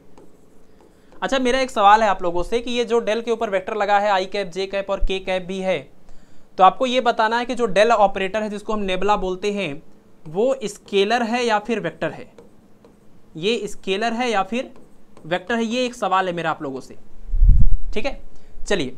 Omega की बात करें तो ओमेगा एक कांस्टेंट वेक्टर है। इसके जो एक्स कंपोनेंट वाई कंपोनेंट और जेड कंपोनेंट है, वो सब के सब कांस्टेंट है। तो ओमेगा एक्स ओमेगा वाई और ओमेगा जेड ध्यान रखिएगा, यहाँ पर x omega x omega y omega z ये सब कांस्टेंट है, एक कांस्टेंट वेक्टर है ये। और आर जो है वो पोजीशन वेक्टर है, ये कांस्टेंट नहीं है। एक्स आई कैप है वाई जे कैप है और जेड के कैप है। ये तो हमने अपने तीनों इन वेक्टर को, जिनका हमें स्केलर ट्रिपल प्रोडक्ट यहाँ निकालना है। देखिए डॉट यहाँ है क्रॉस यहाँ पर स्केलर ट्रिपल प्रोडक्ट जिनका हमें निकालना है, उसको हमने कंपोनेंट के फॉर्म में लिख लिया। अब हमें ये स्केलर ट्रिपल प्रोडक्ट निकालने के लिए, जो कि इस क्वेश्चन की डिमांड है कि divergence of v divergence of v मतलब डेल डॉट वी और वी का मतलब ओमेगा क्रॉस आर ये निकालने के लिए हम सीधे सीधे डिटर्मिनेंट मेथड यूज़ कर सकते हैं। ठीक है, डिटर्मिनेंट मेथड से हम इसको सॉल्व कर सकते हैं। चलिए, यहाँ से करते हैं। तो इसका कंपोनेंट क्या है? डेल बाई डेल एक्स, पहला कंपोनेंट, दूसरा डेल बाई डेल वाई, तीसरा डेल बाई डेल जेड इसी तरह से अगले वाले का देखिए, ओमेगा का क्या है? ये ओमेगा एक्स, उसके बाद ओमेगा वाई, उसके बाद ओमेगा जेड। वेक्टर आर की बात करें, ये एक्स है, ये वाई है और ये जेड है। बस इसको सॉल्व कर लीजिए आप, ठीक है? इसको सॉल्व करने के लिए क्या करेंगे? सॉल्व करने के लिए आप वही मेथड अप्लाई करिए। डेल बाई डेल एक्स को बाहर रखिए, है ना? और उसके बाद ये छूटेगा ये छूटेगा, इसको इसके ऊपर ऑपरेट करिए और मतलब इससे इससे मल्टीप्लाई, इससे इसको मल्टीप्लाई। तो क्या मिलेगा? इसको इसको सॉल्व करने पर ये हो गया आपका omega y z minus omega z y ये आ जाएगा। ठीक है, पहला पार्ट और ये माइनस के साथ। Minus del by del y है ना? ये प्लस होता है, ये माइनस होता है और ये प्लस होता है। तो minus del by del y और ये पूरा कॉलम छूटेगा, ये पूरा रो छूटेगा तो omega x into z omega x z minus x omega z फिर प्लस तीसरा वाला del by del z del by del z और ये पूरा कॉलम छूटेगा रो छूटेगा omega x y omega x y minus x omega y. बस इसी को सॉल्व करना है। इसी को सॉल्व कर देंगे, आपका ये पूरा डाइवर्जेंस ऑफ़ वेक्टर वी मिल जाएगा। तो देखिए इसमें क्या होगा? डेल बाई डेल एक्स है, और यहाँ पर ना तो एक्स है, ना तो यहाँ पर एक्स है। अगर कहीं भी एक्स नहीं है तो एक्स के रिस्पेक्ट में डिफरेंशिएट करने पर पूरा ज़ीरो हो जाएगा। ये वाला भी ज़ीरो, ये वाला भी ज़ीरो। यहाँ देखिए डेल बाई डेल वाई है। वाई के रिस्पेक्ट में पार्शियल डिफरेंशिएशन करना है, यहाँ भी ज़ीरो है और यहाँ भी ज़ीरो है, ये भी पूरा खत्म हो जाएगा, ठीक है ना?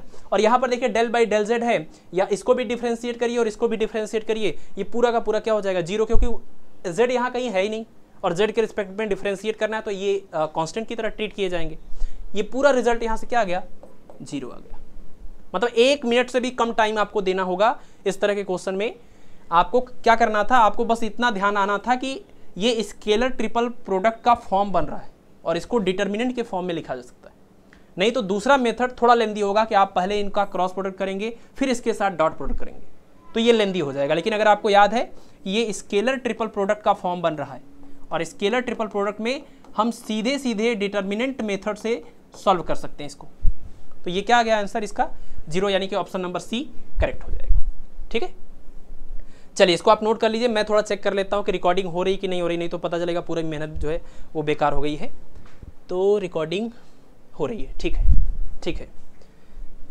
चलिए, अगला क्वेश्चन देखिए। आज थोड़ा लेट भी हो गया और मुझे डाउट है कि शायद टाइम पे क्लास हो पाएगी कि नहीं हो पाएगी। अभी क्वेश्चंस भी हैं और साथ में एडिटिंग भी करनी है। चलिए, अगला क्वेश्चन देखिए। इफ़ फाइव इक्वल टू ये लॉग है log base e if five equal to l n mod of vector r then find the gradient of five मतलब फाइव आपको दिया है तो आपको उसका ग्रेडियंट निकालना है। और फाइव जो है वो थोड़ा इंटरेस्टिंग है। एल एन और ये मॉड के अंदर वेक्टर आर तो इसको आपको पता ही है कि वेक्टर आर क्या है। वेक्टर आर इसमें क्या है ये आपको पता ही है तो आपको पहले उसका मैग्नीट्यूड निकालना होगा। मैग्नीट्यूड निकाल करके उसका लॉग लेना होगा। लॉग लेने के बाद जो आया, अब उसके ऊपर डेल ऑपरेटर जो है उसको ऑपरेट करना होगा, यानी कि ग्रेडियंट निकालना होगा। ठीक है? तो यहाँ से देखिए, यहाँ से शुरुआत करते हैं। यहाँ से। सबसे पहले मॉड ऑफ़ वेक्टर आर चाहिए। तो वेक्टर आर है क्या? एक्स आई के प्लस वाई जे के प्लस जेड के के अब इसके बाद इसका मॉड निकालिए। मॉड ऑफ़ वेक्टर आर ये हो जाएगा अंडर रूट आई कैप के कोफिशियंट का स्क्वायर जे कैप के कोफिशियंट का स्क्वायर और के कैप के कोफिशियंट का स्क्वायर ठीक है? ये हुआ आपका मॉड ऑफ़ वेक्टर आर और इसको थोड़ा और सिस्टमेटिक लिख रहे हैं। X square plus y square plus z square और इसका power one by two square root का मतलब पावर वन बाई टू अब इसका हम लेंगे लॉग तो ये हुआ l n mod of vector r है ना? लॉग ले लिया। तो इधर भी लॉग लेना पड़ेगा एल एन और ये क्या? X square plus y square plus z square और इसका पावर कितना? वन बाई टू और log m power n log m power n का फार्मूला लगाएँगे तो एन लॉग एम हो जाएगा। ये फार्मूला होता है ना? Log m power n is equal to n log m n log m ठीक? तो ये हो गया आपका एल और ये वन बाई टू सामने आ जाएगा और ये एल बचेगा। ब्रैकेट में कितना? X square plus y square plus में जेड स्क्वायर ठीक है ना? एल से थोड़ा कन्फ्यूज़ हो रहे होंगे आप लोग। एक होता है देखिए लॉग जिसका बेस होता है टेन तो नॉर्मली हम इसको ऐसे लॉग भी बोलते हैं। एक होता है लॉग बेस ई लॉग ये बेस टेन था ये क्या है? बेस ई e, और लॉग बेस ई को हम एल भी बोलते हैं। ठीक है? लॉग बेस ई को हम एल भी बोलते हैं। इनके बीच में एक रिलेशन भी होता है, वो हम आपको बता दें। रिलेशन ये होता है कि अगर आप लॉग बेस ई को लॉग बेस ई को कन्वर्ट करना चाहते हैं लॉग बेस टेन में, उसके लिए आपको क्या करना होगा? उसके लिए आपको इसमें मल्टीप्लाई करना होगा 2.3026 से। ठीक है? इसको अगर आप इसमें कन्वर्ट करना चाह रहे हैं लॉग बेस ई को तो सॉरी सॉरी यहाँ उल्टा हो गया ना? ये अगर इसको कन्वर्ट करेंगे तो यहाँ पर ये ऐसे आएगा। 2.3026 और उसके बाद आ जाएगा ये लॉग बेस टेन ये रिलेशन होता है आप उसमें फ़िलहाल तो ये हुआ l n mod of vector r अब इसमें हम क्या करें? इसका हम ग्रेडियंट लेते हैं और ग्रेडियंट लेने के लिए इसको सबको हटाते हैं। ग्रेडियंट तो ग्रेडियंट ऑफ़ फाइव और यही हमारा जो है ना, ये पूरा क्या निकाला हमने? फाइव निकाला। ये हमारा पूरा फाइव है। तो ग्रेडियंट का मतलब del by del x gradient का मतलब del by del x i cap plus del by del y j cap plus del by del z k cap ये हमारा पूरा ग्रेडियंट वाला ये ऑपरेटर हुआ। अब इसके बाहर, इसके बाद क्या है? ये है वन बाई टू और एल एन और ये x square plus y square plus z square. ये पूरा दिया हुआ है। इसको सॉल्व करिए। सॉल्व करने में क्या होगा? देखिए, ये आपका सबसे पहले जाएगा, इसके साथ इसको ऑपरेट करेगा मतलब इसका एक्स के साथ में डिफ्रेंसिएशन करेगा, फिर ये जाएगा इसका वाई के रिस्पेक्ट में करेगा, फिर ये जाएगा इसी का मतलब जेड के रिस्पेक्ट में करेगा। तो सबसे पहले इस टर्म को हम इसके साथ लिख रहे हैं तो कैसा होगा? ऐसा, देखिए डेल बाई डेल एक्स ठीक है डेल बाई डेल एक्स और ये पूरा part one by two l n और ब्रैकेट में आएगा x square plus y square plus z square और उसके बाद में ये आई कैप सिर्फ़ पहला टर्म हमने लिखा है, पहले वाले टर्म को हमने इसको ऑपरेट किया है। तो सिर्फ़ एक कर लेते हैं, बाकी को एज इट इज़ लिख देंगे सिमिलरली करके। एक करने से आपको आइडिया लग जाएगा कि क्या हो रहा है एक्चुअल में। तो जब इस पूरे पार्ट को, इस पूरे पार्ट को आप x के रिस्पेक्ट में पार्शियल डिफरेंशिएट करेंगे तो सबसे पहले तो one by two as a constant बाहर आएगा और लॉग वाले फ़ंक्शन का लॉग जिसका बेस ई e है लॉग बेस ई जिसका होता है लॉग बेस ई जिसको हम एल बोल रहे हैं, उस वाले फ़ंक्शन का जब हम डिफरेंशिएशन करते हैं तो इसका आंसर होता है डिफरेंशिएट करने के बाद क्या आता है? वन बाई एक्स है ना? इसका डिफरेंशिएशन करने पर वन अपान एक्स तो इसका डिफरेंशिएशन करिए, ये वन अपान में पूरा फ़ंक्शन हो जाएगा। तो मतलब ये ध्यान रखिए, ये आई कैप जो है ना, वो इसके साथ में ही है। इसको ना कुछ करिएगा आप सिर्फ़ और सिर्फ़ इस फ़ंक्शन को जो है एक्स के रिस्पेक्ट में डिफ्रेंशिएट करेंगे।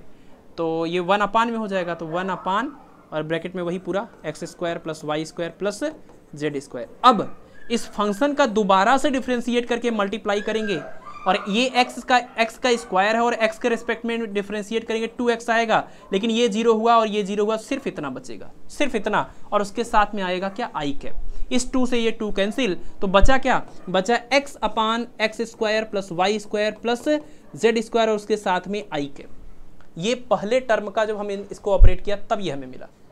सिमिलरली दूसरे वाले को आप y के रिस्पेक्ट में डिफरेंशिएट करेंगे तो ये मिलेगा y upon x square plus y square plus z square और इसके साथ मिलेगा जे कैप तीसरे वाले को करेंगे तो आपको मिलेगा z upon x square plus y square plus z square और उसके साथ में क्या? के कैप अब ये जो मिला है, इसको कुछ अरेंज हम कर सकते हैं। देखिए, सबको सम कर लीजिए। सबको सम करने के बाद ये हो जाएगा आपका x i cap plus y j cap plus z k cap और अपान में आएगा x square plus y square plus z square और आप ध्यान से देखें तो ये ऊपर का जो पूरा टर्म दिख रहा है आपको, ये ऊपर का पूरा term x i cap plus y j cap plus z k cap ये पूरा का पूरा आपका पोजीशन वेक्टर आर है। और जो नीचे का टर्म है x square plus y square plus z square x square plus y square plus z square अगर हम इसका स्क्वायर कर दें तो ये रूट भी हट जाएगा और ये मॉड का स्क्वायर हो जाएगा, यानी वेक्टर आर का स्क्वायर यानी कि आर स्क्वायर बन जाएगा। यानी कि जो नीचे का टर्म है, वो एक्चुअल में वेक्टर आर के मैग्नीट्यूड का स्क्वायर है। वेक्टर आर के मैग्नीट्यूड का स्क्वायर है और ऊपर जो है वो वेक्टर आर है। तो इसका आंसर हो गया क्या? वेक्टर आर और अपान में ये आर स्क्वायर। आर स्क्वायर, यानी कि ऑप्शन नंबर ए जो है वो करेक्ट हो जाएगा। ठीक है? ऑप्शन नंबर ए जो है वो करेक्ट हो जाएगा। नोट कर लीजिए इसको, फिर आगे बढ़ते हैं। देखिए, आज हमने ऑप्शंस को इधर लिखा है तो उसका थोड़ा ठीक है ना, ये थोड़ा क्लियर लिख पा रहे हैं।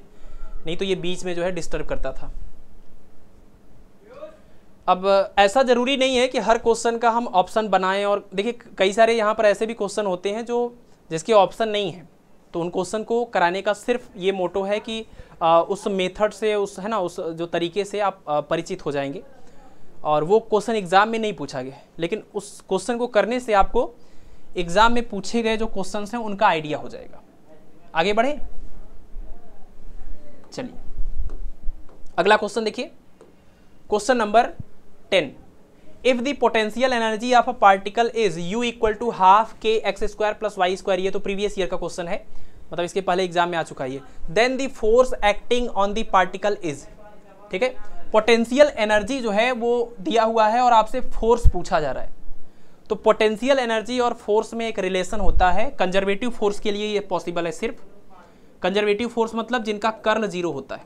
ऐसे फोर्स जिनका कर्ल ज़ीरो होता है उन फोर्सेस को हम बोलते हैं कंजर्वेटिव फोर्स जैसे gravitational force electrostatic force magnetostatic force तो del cross f equal to zero तो इसका मतलब ये जो एफ़ है वो कंजर्वेटिव है। और आपने शुरुआत में एक क्वेश्चन नंबर टू में शायद देखा कि जिसका कर्ल ज़ीरो होता है उसको हम किस तरीके से लिख सकते हैं। तो जिसका कर्ल ज़ीरो होता है उसको हम कंजर्वेटिव फोर्स बोलते हैं कंजर्वेटिव फ़ील्ड बोलते हैं। और उसको हम किसी स्केलर फ़ंक्शन के ग्रेडियंट के फॉर्म में लिख सकते हैं। तो ग्रेडियंट यहाँ पर होता है पोटेंशियल एनर्जी और यहाँ माइनस भी होता है। ठीक है? तो कंजर्वेटिव फोर्स और पोटेंशियल एनर्जी के बीच का ये रिलेशन है। माइनस ग्रेडियंट यू का मतलब माइनस ऑफ़ ग्रेडियंट और ये यू ये। ठीक है? तो आपको यही निकालना, आपको यू की वैल्यू दिया हुआ है और माइनस ऑफ़ ग्रेडियंट यू कर देंगे तो आपको फोर्स मिल जाएगा। माइनस आप ग्रेडियंट यू कर देंगे तो आपको फोर्स मिल जाएगा। तो देखिए क्या होगा?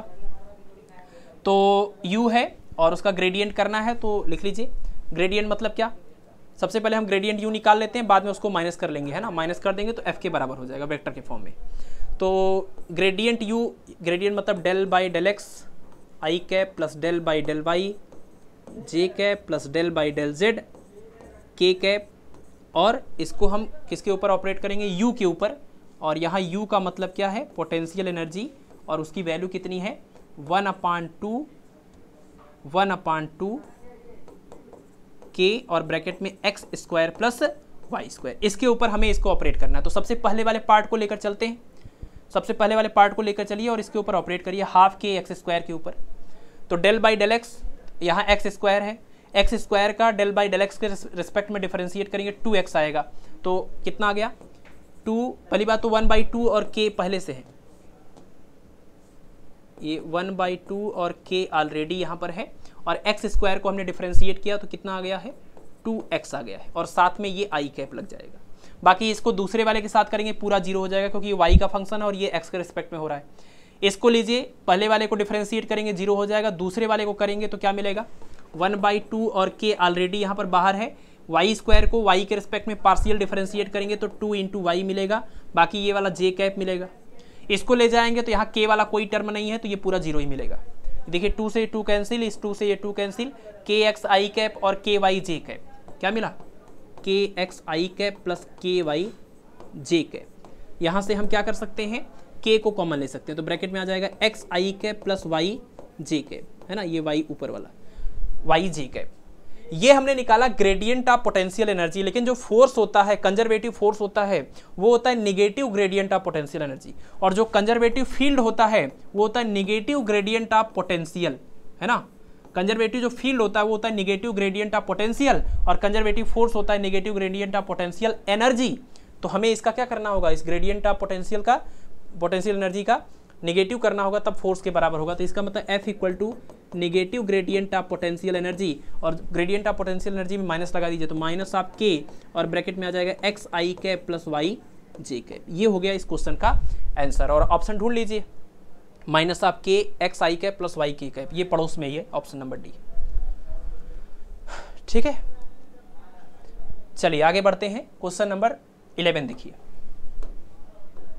Question number eleven the value of constant a for एक वेक्टर दिया हुआ है और इस वेक्टर में ये एक्स कंपोनेंट है, ये वाई कंपोनेंट है और ये जेड कंपोनेंट है। इसके साथ आई कैप इसके साथ जे कैप इसके साथ के कैप है।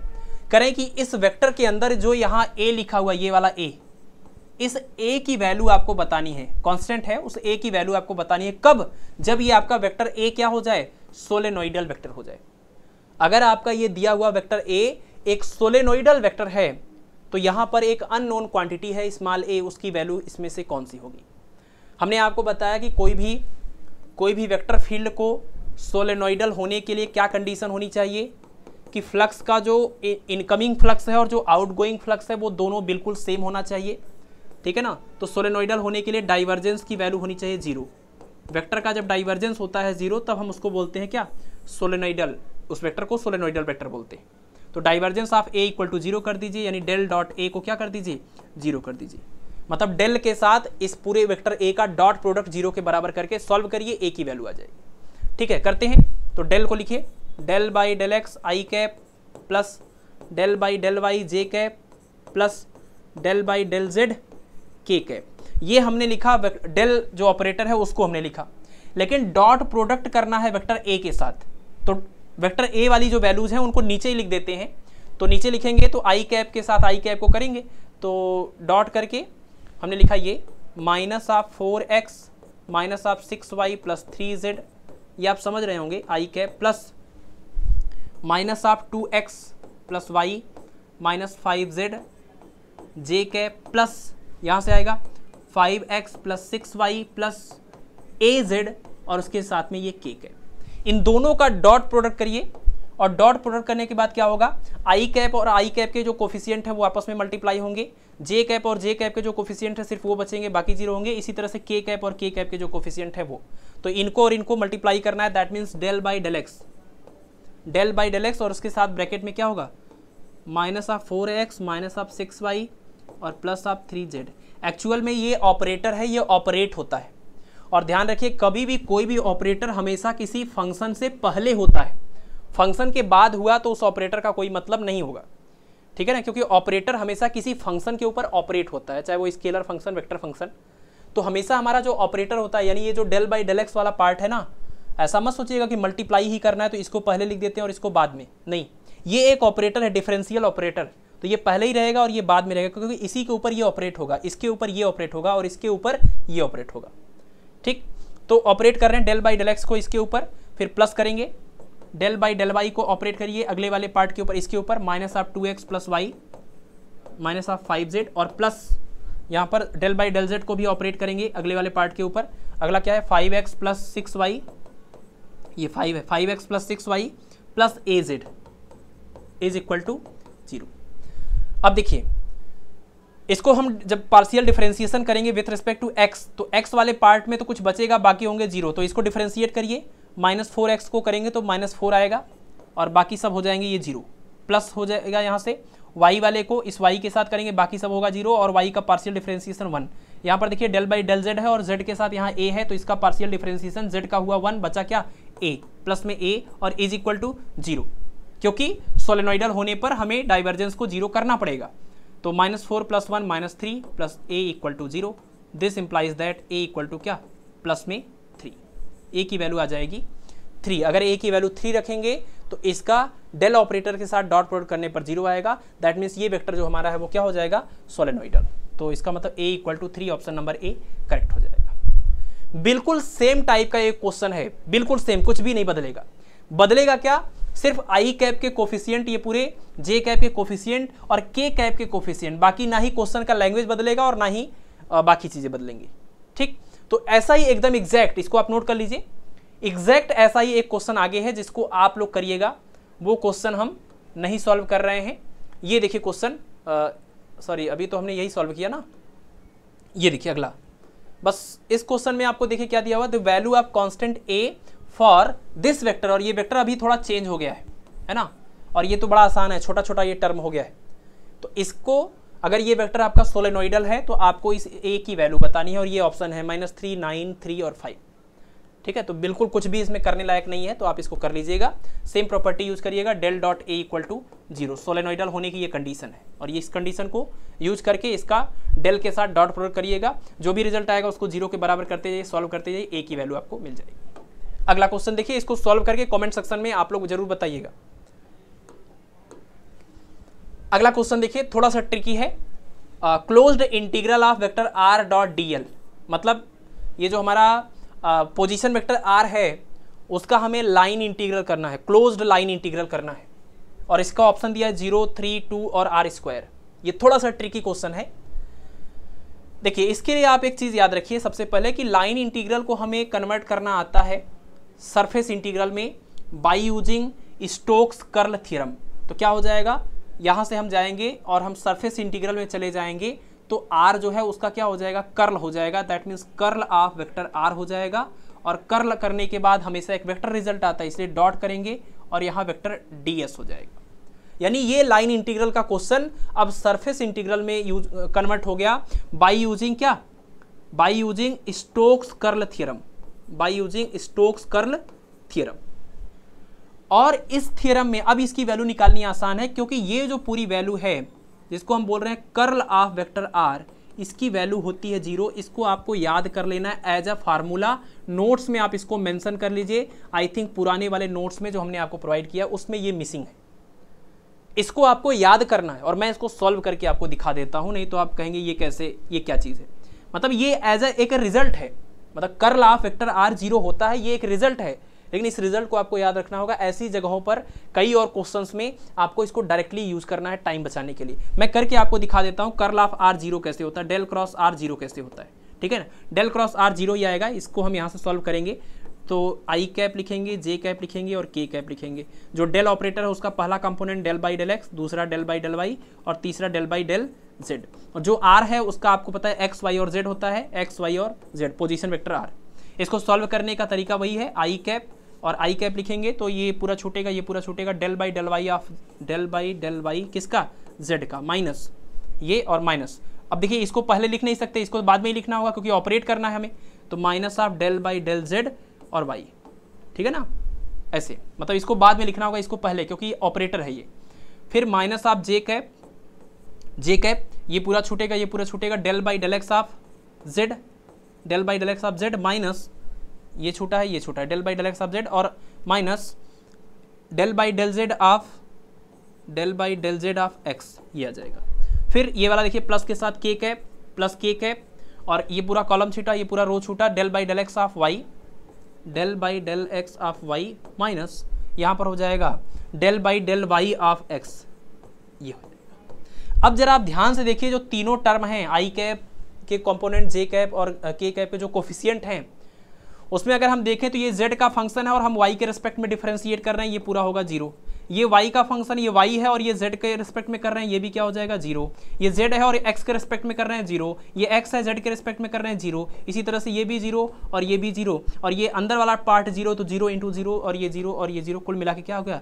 ज़ीरो मतलब हमें ये पता हो चुका है कि कर लाफ वेक्टर आर क्या होता है? ज़ीरो होता है, ये भी अपने आप में एक क्वेश्चन है, एक प्रॉब्लम है। ठीक है? बट इसका जो रिज़ल्ट आया, उसको आपको याद रखना है, एक इंपॉर्टेंट रिज़ल्ट है ये। तो कर लाफ वेक्टर आर ज़ीरो होता है और इसको आप यहाँ रख देंगे तो ये पूरा रिज़ल्ट भी क्या हो जाएगा? ज़ीरो इस क्वेश्चन का भी आंसर मिल गया, क्या आ गया? ज़ीरो ठीक है? तो अगर इस क्वेश्चन को आप सॉल्व करना चाहते हैं तो आपको इस प्रॉपर्टी को, इस रिज़ल्ट को पहले से याद रखना होगा और आगे के भी कई क्वेश्चन में आपको ये रिज़ल्ट यूज़ करना पड़ेगा। ठीक है? चलिए, इसको आप नोट कर लीजिए, आगे बढ़ते हैं। अगला क्वेश्चन जो है the value of small a small b and small c ये है। Respectively for this vector to be irrotational जैसे पिछला क्वेश्चन आपने किया, ऐसा एक वेक्टर दिया था और उस वेक्टर में कहा गया कि अगर ये वेक्टर सोलेनोइडल हो तो आप ए की वैल्यू बताइए। दो क्वेश्चन ऐसे थे, एक हमने किए, एक आपको करना है। बिल्कुल वैसा ही ये सवाल है। अभी क्या करना है? आपको कौन सी प्रॉपर्टी यूज़ करनी है? इरोटेशनल की प्रॉपर्टी और इरोटेशनल की प्रॉपर्टी ये होती है कि वेक्टर का जो कर्ल है वो क्या हो जाए? ज़ीरो अगर curl of vector a zero हो जाए तो इसका मतलब जो वेक्टर ए है वो हमारा क्या कहलाएगा? इरोटेशनल वेक्टर मतलब इसके अंदर रोटेशन वाली प्रॉपर्टी नहीं है और इसी को हम कंजर्वेटिव वेक्टर भी बोल सकते हैं। है ना? आपने इलेक्ट्रिक फ़ील्ड और फोर्स के केस में अभी फार्मूला पीछे देखा था। तो कर्ल ऑफ़ ज़ीरो होने का मतलब कि इरोटेशनल की प्रॉपर्टी और डाइवर्जेंस ज़ीरो होने का मतलब सोलेनोइडल ठीक है? तो आप क्या करिए? इस वेक्टर का कर्ल निकालिए, उसको ज़ीरो के बराबर करिए, फिर पूरे इक्वेशन को सॉल्व करिए। आपको ए बी और सी सबकी वैल्यू मिलेगी ऑप्शन यहाँ पर नहीं लिख पाए हैं तो उससे दिक्कत नहीं है हमारा यहाँ पर जो आंसर आएगा उससे पता चल जाएगा। Curl of vector a equal to zero तो कर्ल निकालिए कर्ल ऑफ़ वेक्टर ए मतलब del cross vector a curl मतलब डेल ऑपरेटर का क्रॉस प्रोडक्ट करना होगा। तो curl of vector a equal to zero यहाँ पर देखिए अब क्या करना होगा ये थोड़ा सा मुश्किल है मतलब लेंदी है इसमें। आ, ये आई कैप है और ये जे कैप है और ये के कैप है। यहाँ पर डेल बाई डेल एक्स ये डेल बाई डेल वाई और इसको बोलेंगे डेल बाई डेल जेड ऐसा करते हैं इनको एक नाम इनको यहाँ इसके अंदर ठूसना थोड़ा मुश्किल होगा है ना? तो ऐसा करते हैं इनको एक नाम दे देते हैं। आ, इसको आप नाम दे दीजिए कुछ ए इसको बोल दीजिए बी और इसको बोल दीजिए सी तो यहाँ पर हमारा होगा एक्स कंपोनेंट ए और ये बी और यहाँ पर सी इसको जब सिंप्लीफाई करेंगे तो क्या होगा? आई कैप और ये पूरा छूटेगा ये पूरा छूटेगा इसके ऊपर ऑपरेट होगा किसके ऊपर? डेल बाई डेल वाई किसके ऊपर ऑपरेट होगा? सी के ऊपर ऑपरेट होगा। सी के ऊपर, हम यहाँ लिख देते हैं सी के ऊपर ऑपरेट होगा। तो यहाँ पर आ जाएगा आपका सी फिर उसके बाद माइनस लिखेंगे। ये छोटा था, ये छोटा था। अब देखिए डेल बाई डेल जेड जो है, वो बी के ऊपर ऑपरेट होगा। डेल बाई डेल जेड ये बी के ऊपर ऑपरेट होगा। फिर माइनस आप जे कैप माइनस आप जे कैप के बाद क्या होगा? ये del by del x c के ऊपर ऑपरेट होगा। Del by del x c del by del x c minus उसके बाद ये डेल बाई डेल जेड जो है वो ए के ऊपर ऑपरेट होगा। Del by del z a ये हुआ आपका दूसरा part plus k cap i cap j cap हो गए। के कैप में ये छूटेगा ये छूटेगा। डेल बाई डेल एक्स को बी के ऊपर ऑपरेट करिए। डेल बाई डेल एक्स को बी के ऊपर ऑपरेट करिए माइनस ए को ऑपरेट करिए डेल बाई डेल वाई के ऊपर। Sorry del by del y को ऑपरेट करिए ए के ऊपर। ठीक है? अब इसके बाद, अब इसको हमें मिटाना पड़ेगा इस साइड से। इसके बाद जो सी है बी है और ए है, उन सबको यहाँ रखते हैं और इसको सॉल्व करते हुए जो रिज़ल्ट आएगा, उसको हम इस साइड यहाँ लिखते हैं। ठीक है, इसको हम यहाँ पर लिखेंगे ये हम डेल क्रॉस ए निकाल रहे हैं इज़ इक्वल टू यहाँ पर देखिए आई कैप आई कैप और सी को ऑपरेट करना। सी मतलब आप समझ रहे हैं यहाँ पर। इसको हमें डेल बाई डेल वाई मतलब वाई के रिस्पेक्ट में ऑपरेट करेंगे डिफ्रेंशिएट करेंगे तो ये पूरा ज़ीरो वो दूसरा ज़ीरो सिर्फ़ यहाँ पर बचेगा क्या? वाई का हो जाएगा वन सिर्फ़ सी बचेगा यहाँ पर। यहाँ पर क्या बचेगा? ये वाला सी बचेगा, ये वाला सी ठीक? तो सी बचा ब्रैकेट के अंदर सी माइनस बी को जेड के रिस्पेक्ट में डिफ्रेंशिएट करना है, इसको जेड के रिस्पेक्ट में करेंगे, सिर्फ़ फाइव बचेगा। सिर्फ़ फाइव बचेगा। ठीक है? यही पूरा यहाँ से यहाँ तक बी है। तो ये और ये पूरा ज़ीरो हो गया, सिर्फ़ फाइव बचेगा। ये हुआ हमारा first part minus j cap लीजिए जे कैप और जे कैप में del by del x of c मतलब ये जो सी है, उसको हमें एक्स के रेस्पेक्ट में डिफ्रेंशिएट करना है। ये सब ज़ीरो हो जाएँगे, यहाँ से एक्स का वन हो जाएगा फोर बचेगा। फोर माइनस ए को जेड के रिस्पेक्ट में, ये ए है, इसको जेड के रिस्पेक्ट में करिए तो स्मॉल ए बचेगा। ठीक? और इसी तरह से आगे बढ़ते हैं। प्लस के कैप प्लस के कैप और इसमें del by del x of b b वाले पार्ट को एक्स के रिस्पेक्ट में करना है तो यहाँ से बचेगा ये स्मॉल बी और माइनस ए को वाई के रिस्पेक्ट में करना है तो यहाँ से बचेगा क्या? माइनस थ्री तो माइनस थ्री और ये माइनस जो पहले से था, दोनों मिलके हो जाएँगे प्लस ये किसके इक्वल ज़ीरो के इक्वल यानी कर्ल ऑफ़ वेक्टर ए किसके इक्वल ज़ीरो के इक्वल थोड़ा सा इसको और तरीके से हम लिख सकते हैं, या तो ऐसे ही रहने दीजिए। आप जरा देखिए कि ये पूरा वेक्टर आपका जो है कर्ल ऑफ़ वेक्टर ए ये ज़ीरो के बराबर है। और ज़ीरो को हम लिख सकते हैं क्या? Zero i cap plus zero j cap plus zero k cap और इस वाले साइड को और इस वाले साइड को हम बिल्कुल कंपेयर कर सकते हैं आपस में। ये जो कर्ल ऑफ़ वेक्टर ए आया है, इसको हमने ज़ीरो लिखा था। अब ये i cap j cap k cap के फॉर्म में आ गया। तो इस साइड भी इसको भी वेक्टर के फॉर्म में हमने लिख दिया और सभी के आई कोफिशियंट और जे कोफिशियंट और के कैप कोफिशियंट को कंपेयर कर दिया। तो यहाँ आई कैप का कोफिशियंट ज़ीरो है, लेकिन बराबर अगर दोनों वेक्टर हैं तो इस, यहाँ भी आई कैप का कोफिशियंट बराबर होगा। That mean c minus five बराबर ज़ीरो हो जाएगा। यहाँ जे कैप का कोफिशियंट ज़ीरो और यहाँ पर कितना? जे कैप का कोफिशियंट माइनस को अंदर ले जाना होगा, क्योंकि ये प्लस है और ये माइनस तो ये हो जाएगा ए माइनस फोर तो a minus four is equal to zero और यहाँ देखिए, ये ज़ीरो और यहाँ बी प्लस थ्री तो b plus three is equal to zero. बस सिंप्लीफाई कर लीजिए, आपको ए बी सी तीनों की वैल्यू इकट्ठा मिल जाएगी। यहाँ से आपको मिलेगी ए की वैल्यू ए इक्वल टू आएगा फोर यहाँ से आप बी की वैल्यू निकालेंगे तो आएगा माइनस आप थ्री और यहाँ से आप सी की वैल्यू निकालेंगे तो आएगा प्लस में फाइव ठीक है? तो इसका आंसर हो गया कितना? ए बी और सी बताना था तो ए बी सी के फॉर्म में बताना था तो ए की वैल्यू है फोर बी की वैल्यू है माइनस थ्री और सी की वैल्यू है क्या? फाइव ठीक है? तो फोर माइनस थ्री और फाइव इस क्वेश्चन का आंसर हो जाएगा। इसमें जो स्मॉल ए स्मॉल बी और स्मॉल सी हैं, इनकी वैल्यू होगी फोर माइनस थ्री और माइनस सॉरी प्लस फाइव ठीक? तो ये था आपका एक इरोटेशनल वाला क्वेश्चन और ध्यान रखिए सोलेनोइडल का केस और इरोटेशनल का जो केस है, उसके ऊपर क्वेश्चन प्रीवियस ईयर में पूछे गए. ठीक है? एक इसमें से प्रीवियस ईयर का क्वेश्चन और एक हमने अपने मन से मतलब बुक से अरेंज किया है बीएससी की बुक से. क्वेश्चन नंबर 15 देखिए. क्वेश्चन नंबर 15 में भी सेम टाइप का प्रॉब्लम है। बस इसमें क्या है, जो ये आई कैप, जे कैप और के कैप के आपके टर्म थे, वो चेंज हो गए। ठीक है ना? सेम पूरी कंडीशन है। रोटेशनल की बात है, वेक्टर इसका नाम वी है, और आपको बताना है कि अगर ये एर रोटेशनल है तो इसमें जो ए बी और सी यूज़ हो रहे हैं, उसकी वैल्यू कितनी होगी? तो एर रोटेशनल की कंडीशन यही है कि कर्ल ज़ीरो होना चाहिए तो curl of vector v equal to zero होगा। तभी ये वेक्टर वी जो है, वो एर रोटेशनल होगा, और इसको हम बोलेंगे del cross v is equal to zero इसका आप कर्ल निकालिएगा, जैसे पीछे हमने किया है, और उसको ज़ीरो के बराबर करिएगा। फिर ज़ीरो जो है, उस ज़ीरो को लिखिएगा, zero i cap plus zero j cap और ज़ीरो के कैप। फिर आई कैप, जे कैप और के कैप के कोफिशियंट को कंपेयर करेंगे। तीन इक्वेशन मिलेंगे सिंपल से, तीनों को सॉल्व करेंगे तो इसमें से कोई ऑप्शन मैच कर जाएगा। ठीक है? तो वो बिना ऑप्शन वाला क्वेश्चन हमने कर दिया। अब ये तो ऑप्शन के साथ है, इसको आप कर लीजिएगा। ये आपका होमवर्क है। अगला क्वेश्चन देखिए। अगला question. Gauss law is represented by Gauss law को रिप्रेजेंट किया जाता है। अब यहाँ पर इन्होंने ये बोला है नहीं गॉस ला ऑफ़ इलेक्ट्रोस्टैटिक या फिर गॉस ला ऑफ़ मैग्नेटोस्टैटिक्स तो आप ऑप्शन को देखेंगे तो हर जगह इलेक्ट्रिक फ़ील्ड दिख रहा है मैग्नेटिक फ़ील्ड नहीं दिख रहा है। इसका मतलब ये अंडरस्टूड है कि ये गॉस ला ऑफ़ इलेक्ट्रोस्टैटिक की बात हो रही है। और गॉस ला ऑफ़ इलेक्ट्रोस्टैटिक का फार्मूला क्या होता है? गॉस ला ऑफ़ इलेक्ट्रोस्टैटिक का फार्मूला होता है कि किसी भी गॉसियन सरफेस से पास होने वाला total electric flux is equal to E dot d s is equal to q upon epsilon naught यही तो है गॉस लॉ ऑफ़ इलेक्ट्रोस्टैटिक लेकिन जो क्वेश्चन में ऑप्शन दिया है, वो डिफरेंशियल फॉर्म में दिया है डेल ऑपरेटर के फॉर्म में दिया हुआ है। ये इंटीग्रल फॉर्म है। तो इसको हमें इस इंटीग्रल फॉर्म को डिफरेंशियल फॉर्म में चेंज करके मैच कराना होगा। सबसे पहले क्या करेंगे हम? इस सरफेस इंटीग्रल को वॉल्यूम इंटीग्रल में कन्वर्ट करेंगे by using Gauss divergence theorem Gauss divergence theorem का यूज़ करते हुए हम इस सरफेस इंटीग्रल को वॉल्यूम इंटीग्रल में कन्वर्ट करेंगे। ठीक है? तो सरफेस इंटीग्रल को वॉल्यूम इंटीग्रल में कन्वर्ट करिए। क्या लिखा जाएगा इसको? इसको लिखा जाएगा वॉल्यूम इंटीग्रल और ई डॉट डी एस को लिखेंगे। अब डाइवर्जेंस में ये कन्वर्ट हो जाएगा तो divergence of electric field E हो जाएगा। उसके बाद ये वॉल्यूम इंटीग्रल हो जाएगा is equal to q upon में क्या? एप्साइलन नॉट देखिए, आपने एक फार्मूला पढ़ा होगा rho volume charge density is equal to d q upon d v पर यूनिट वॉल्यूम में जितना चार्ज होता है, उसको हम वॉल्यूम चार्ज डेंसिटी बोलते हैं। तो rho equal to d q upon d v से पता चलता है कि डी क्यू इक्वल टू क्या हो जाएगा? रो इंटू डी वी और इंटीग्रेट कर देंगे इसको तो ये बन जाएगा क्यू डी क्यू को इंटीग्रेट करेंगे तो क्यू बनेगा। इधर भी इंटीग्रेट करना पड़ेगा रो इंटू डी वी करना पड़ेगा, यानी वॉल्यूम इंटीग्रेशन करना होगा। ठीक है? तो पूरे वॉल्यूम में जो चार्ज है वो क्यू है। तो इधर ये वॉल्यूम इंटीग्रल में कन्वर्ट हो गया। और आप इस वाले को इस वॉल्यूम इंटीग्रल से रिप्लेस कर दीजिए। तो ये हो गया कितना? Rho D V volume integral और डिवाइडेड बाई क्या? एप्साइलन नॉट, जो कि एक कांस्टेंट है। और इधर से volume integral divergence of electric field divergence of electric field का वॉल्यूम इंटीग्रल। अब ये भी वॉल्यूम इंटीग्रल है, ये भी वॉल्यूम इंटीग्रल है, दोनों को कंपेयर किया जा सकता है। तो यहाँ पर किसका हो रहा है volume integral?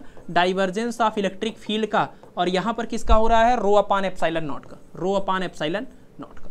तो ये हो गया आपका गॉस डाइवर्जेंस सॉरी ये हो गया आपका गॉस लॉ ऑफ़ इलेक्ट्रोस्टैटिक का differential form divergence of electric field का मतलब क्या? डाइवर्जेंस ऑफ़ इलेक्ट्रिक फ़ील्ड का मतलब del dot E is equal to rho upon epsilon naught अब आप इसमें मिला लीजिए, कोई ऑप्शन मैच कर रहा होगा del dot equal to rho upon epsilon naught option number B ठीक है? और थोड़ा रुकिए। कई बार ये सवाल जो है, वो उसका ये ऑप्शन भी नहीं मिलेगा आपको। तो ऐसे में आपको क्या करना है, इसको ट्रांसपोज करिए इधर एप्साइलन नॉट को इधर ले जाइए तो आपको मिलेगा डेल डॉट एप्साइलन नॉट और वेक्टर ई को एक साथ लिखिए। एप्साइलन नॉट और vector E equal to rho और epsilon naught into vector E को हम बोलते हैं displacement vector D displacement vector D is equal to epsilon naught E तो इसको हम डी लिखेंगे तो ये बन जाएगा del dot D is equal to rho ये भी एक तरीका है गॉस के गॉस ला का जो फार्मूला है उसके डिफरेंशियल फॉर्म को लिखने का। Del dot D equal to rho option मिल सकता है या फिर del dot del dot E upon rho upon epsilon naught मिल सकता है, या फिर इस तरीके से divergence of E equal to rho upon epsilon naught बोल सकते हैं, या तो ये वाला इंटीग्रल फॉर्म तो आपको पता ही होगा, यहीं से आपको याद ही होता है। ठीक है? तो इस क्वेश्चन का ऑप्शन नंबर बी जो है वो करेक्ट हो जाएगा, ये फार्मूले आप याद रखिए। एक ये फार्मूला है, ये फार्मूला है जो इसमें यूज़ हुआ है, इसको एक तरह से हम डिराइव कर रहे थे, और ये कंक्लूजन चलिए, इसको स्क्रीन ले लीजिए, आगे बढ़ते हैं। अगला क्वेश्चन देखिए। क्वेश्चन नंबर 17 बस दो तीन क्वेश्चन और है, जल्दी खत्म करते हैं इसको। From which of the following conservative force F can be represented ये तो पीछे हमने डिफिनीशन में ही देख लिया। ये कह रहे हैं कि कंजर्वेटिव फोर्स को निम्न में से किस तरीके से हम एक्सप्रेस करते हैं? तो जो भी फोर्स हो, चाहे वो फ़ील्ड हो, अगर वो कंजर्वेटिव है तो उसका कर्ल होगा ज़ीरो अगर वो कंजर्वेटिव है तो उसका कर्ल होगा ज़ीरो चाहे वो फोर्स हो, चाहे वो फ़ील्ड हो। और जो भी ऐसा होता है, उसको हम नेगेटिव ग्रेडियंट के फॉर्म में लिखते हैं तो negative gradient of potential energy के फॉर्म में हम फोर्स को लिखते हैं और नेगेटिव ग्रेडियंट ऑफ़ पोटेंशियल के फॉर्म में हम फ़ील्ड को लिखते हैं। ठीक है? तो इसका जो आंसर हो जाएगा, वो हो जाएगा F equal to negative gradient of potential इसके ऊपर एक क्वेश्चन भी हमने पीछे अभी किया है, थोड़ी देर पहले। ठीक है? ऑप्शन नंबर बी करेक्ट हो जाएगा। ये फार्मूला याद कर लीजिए। अगला क्वेश्चन फाई की वैल्यू दिया हुआ है। फाइव एक स्केलर फ़ंक्शन है। Six x cube y z तो आपसे, आपको पता करना है divergence of gradient of phi divergence of gradient of phi ठीक है? Divergence of gradient of phi अगर हमें याद करना है तो यहाँ पर आप एक चीज़ देखिए। ये जो भी पूरा रिज़ल्ट आ रहा है, ये तो ऑप्शन है फ़िलहाल। तो इसको अगर हम लिखें divergence of gradient of phi divergence मतलब डेल डॉट और ग्रेडियंट मतलब डेल और उसके बाद फाई और देखिए, ये डेल डॉट डेल हो गया तो डेल डॉट डेल हो जाता है डेल स्क्वायर और उसके बाद हो गया ये फाई एक्चुअल में divergence of gradient of phi का मतलब लाप्लासियन ऑपरेटर को हमें फाई के ऊपर ऑपरेट करना होगा। और ये लाप्लासियन ऑपरेटर जो है, ये जो डेल स्क्वायर है, वो क्या है? एक्चुअल में डेल डॉट डेल इसको हम डेल स्क्वायर बोलते हैं। और ये होता है लाप्लासियन ऑपरेटर यानी del square upon del x square जो भी पहले हम डेल ऑपरेटर में एक बार ऑपरेट करते थे, एक बार डिफ्रेंशिएट करते थे वो दो दो बार होगा। और ये एक स्केलर रिज़ल्ट है, इसमें आई कैप जे कैप और के कैप नहीं होगा। डेल ऑपरेटर में आई कैप जे कैप और के कैप भी होता है। लेकिन मैं ये नहीं बोल रहा हूँ कि वो वेक्टर है कि स्केलर है, ये हमने आपको सवाल दिया है कि आपको ये बताना है कि डेल ऑपरेटर में यहाँ वेक्टर भी लगता है, यहाँ del by del x i cap भी होता है, del by del y j cap भी होता है, del by del z k cap भी होता है। तो आपको बताना है कि जो ये डेल ऑपरेटर है, नेबला है, ये स्केलर है कि वेक्टर है। बाकी कुछ चीज़ें आप देख ही रहे होंगे कि इसको जब हम एक स्केलर के ऊपर ऑपरेट कर रहे हैं तो ये स्केलर दे रहा है, सॉरी, एक वेक्टर दे रहा है, जो कि हम किसी वेक्टर क्वांटिटीज़ में भी ऐसा ही देखते हैं। किसी वेक्टर को अगर हम किसी स्केलर के ऊपर मल्टीप्लाई करते हैं तो वो भी तो वेक्टर ही देता है। बिल्कुल वैसा ही नेचर दिखा रहा है। इसी तरह से आपको ये भी पता है कि डेल ऑपरेटर को किसी वेक्टर के पास साथ डॉट प्रोडक्ट करते हैं, डाइवर्जेंस जब निकालते हैं तो क्या आता है? ये एक स्केलर रिज़ल्ट आता है। और ऐसा हमने वेक्टर के केस में पढ़ा है कि दो वेक्टर का डॉट प्रोडक्ट करिए तो ये भी क्या होता है? स्केलर होता है। एक और चीज़ आपने इसी तरीके से पढ़ी है। ये मैं आपको सिमिलरिटीज़ दिखा रहा हूँ, लेकिन फिर भी मैं ये नहीं कर रहा हूँ कि ये स्केलर है कि वेक्टर है, आपको पता करना है। तीसरा पॉइंट आप देख लीजिए, अगर हम क्रॉस प्रोडक्ट करें, कर्ल निकालें कर्ल निकालें मतलब डेल का कर्ल निकालें किसी वेक्टर के साथ तो हमें पता है कर्ल निकालने के बाद ये भी क्या आता है, वेक्टर आता है, ये बिल्कुल वैसा ही है, जैसे हम दो वेक्टर का कर्ल यानी कि क्रॉस प्रोडक्ट निकालते थे, कर्ल नहीं, क्रॉस प्रोडक्ट निकालते थे, वो भी क्या होता था, वेक्टर होता था। तो जैसे हमारे वेक्टर्स बिहेव करते हैं, बिल्कुल उसी वेक्टर की तरह देखने में ये लग रहा है और ऐसे भी लग रहा है, लेकिन ये स्केलर है कि वेक्टर है, और ऐसा क्यों है, ये आपको बताना है कमेंट सेक्शन में, ये आपका होमवर्क है। Del square upon del x square और यहाँ पर आएगा, जब आप दोनों का डॉट प्रोडक्ट करेंगे तो यही आएगा। Del square upon del y square और del square upon del z square ठीक है, ये आपका डेल ऑपरेटर है। तो अगर आप इसको सिंप्लीफाई करके यहाँ तक कन्वर्ट कर ले गए, फिर ये क्वेश्चन जल्दी से आंसर आएगा। अगर अदरवाइज़ आपको क्या करेंगे आप पहले? फाइव का ग्रेडियंट निकालेंगे, फिर ग्रेडियंट निकालने के बाद जो आएगा उसका आप डाइवर्जेंस निकालेंगे, थोड़ा लेंदी प्रोसेस होगा। अगर आप ये कर ले गए तो आपको आंसर मिल जाएगा जल्दी से।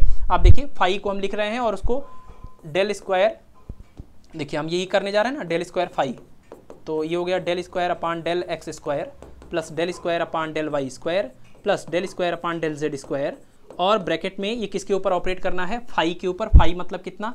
सिक्स एक्स क्यूब वाई और जेड। तो पहले को ले जाइए, इसके साथ ऑपरेट करिए।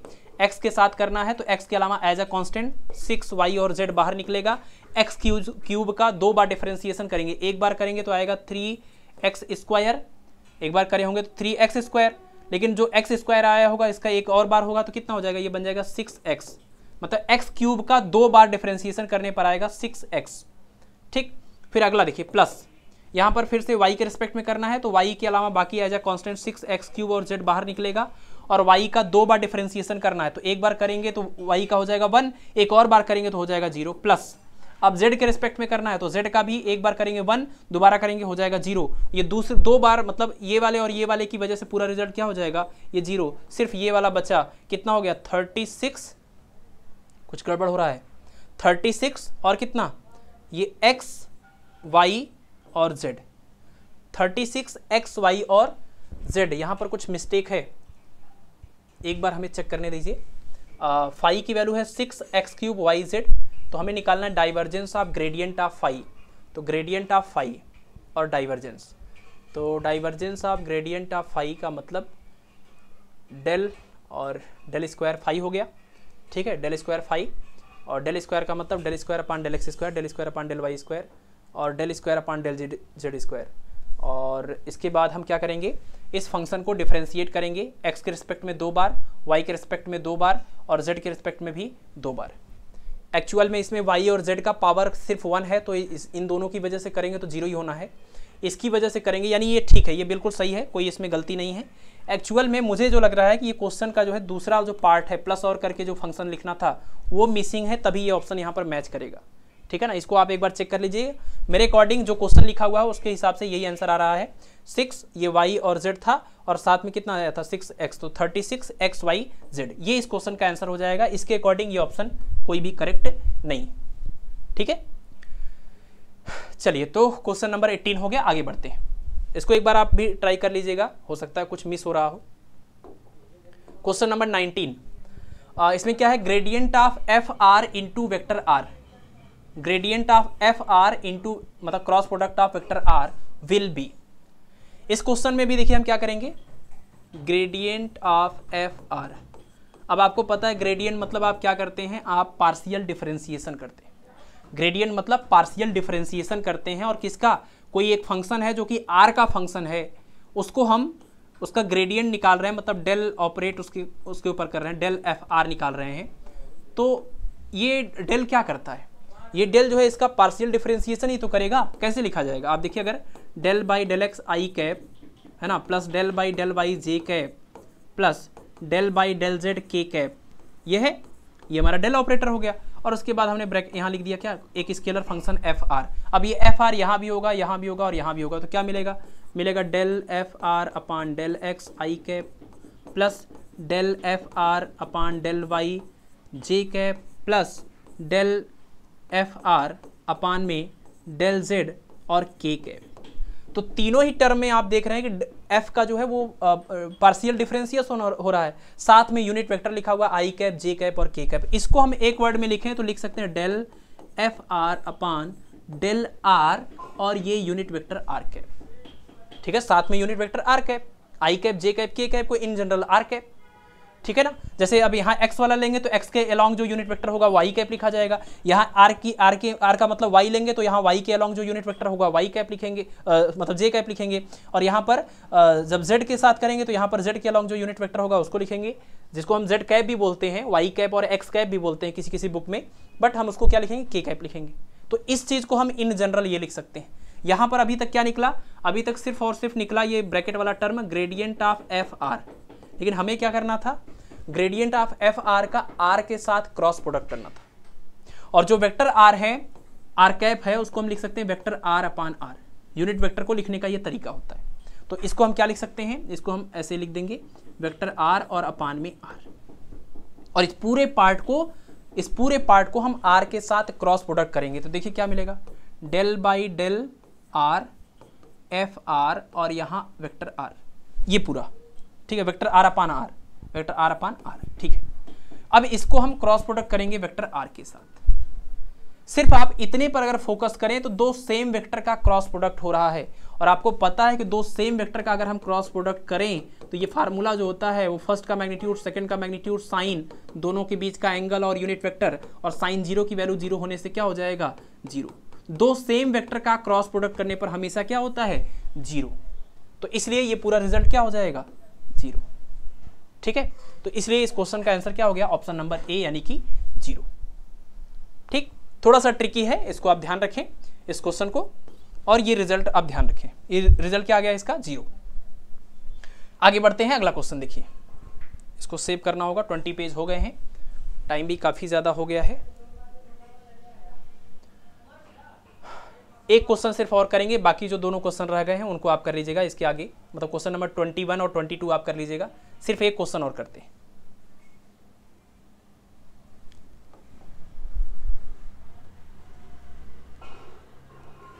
चलिए, ये लास्ट क्वेश्चन है। इसमें क्या दिया हुआ है?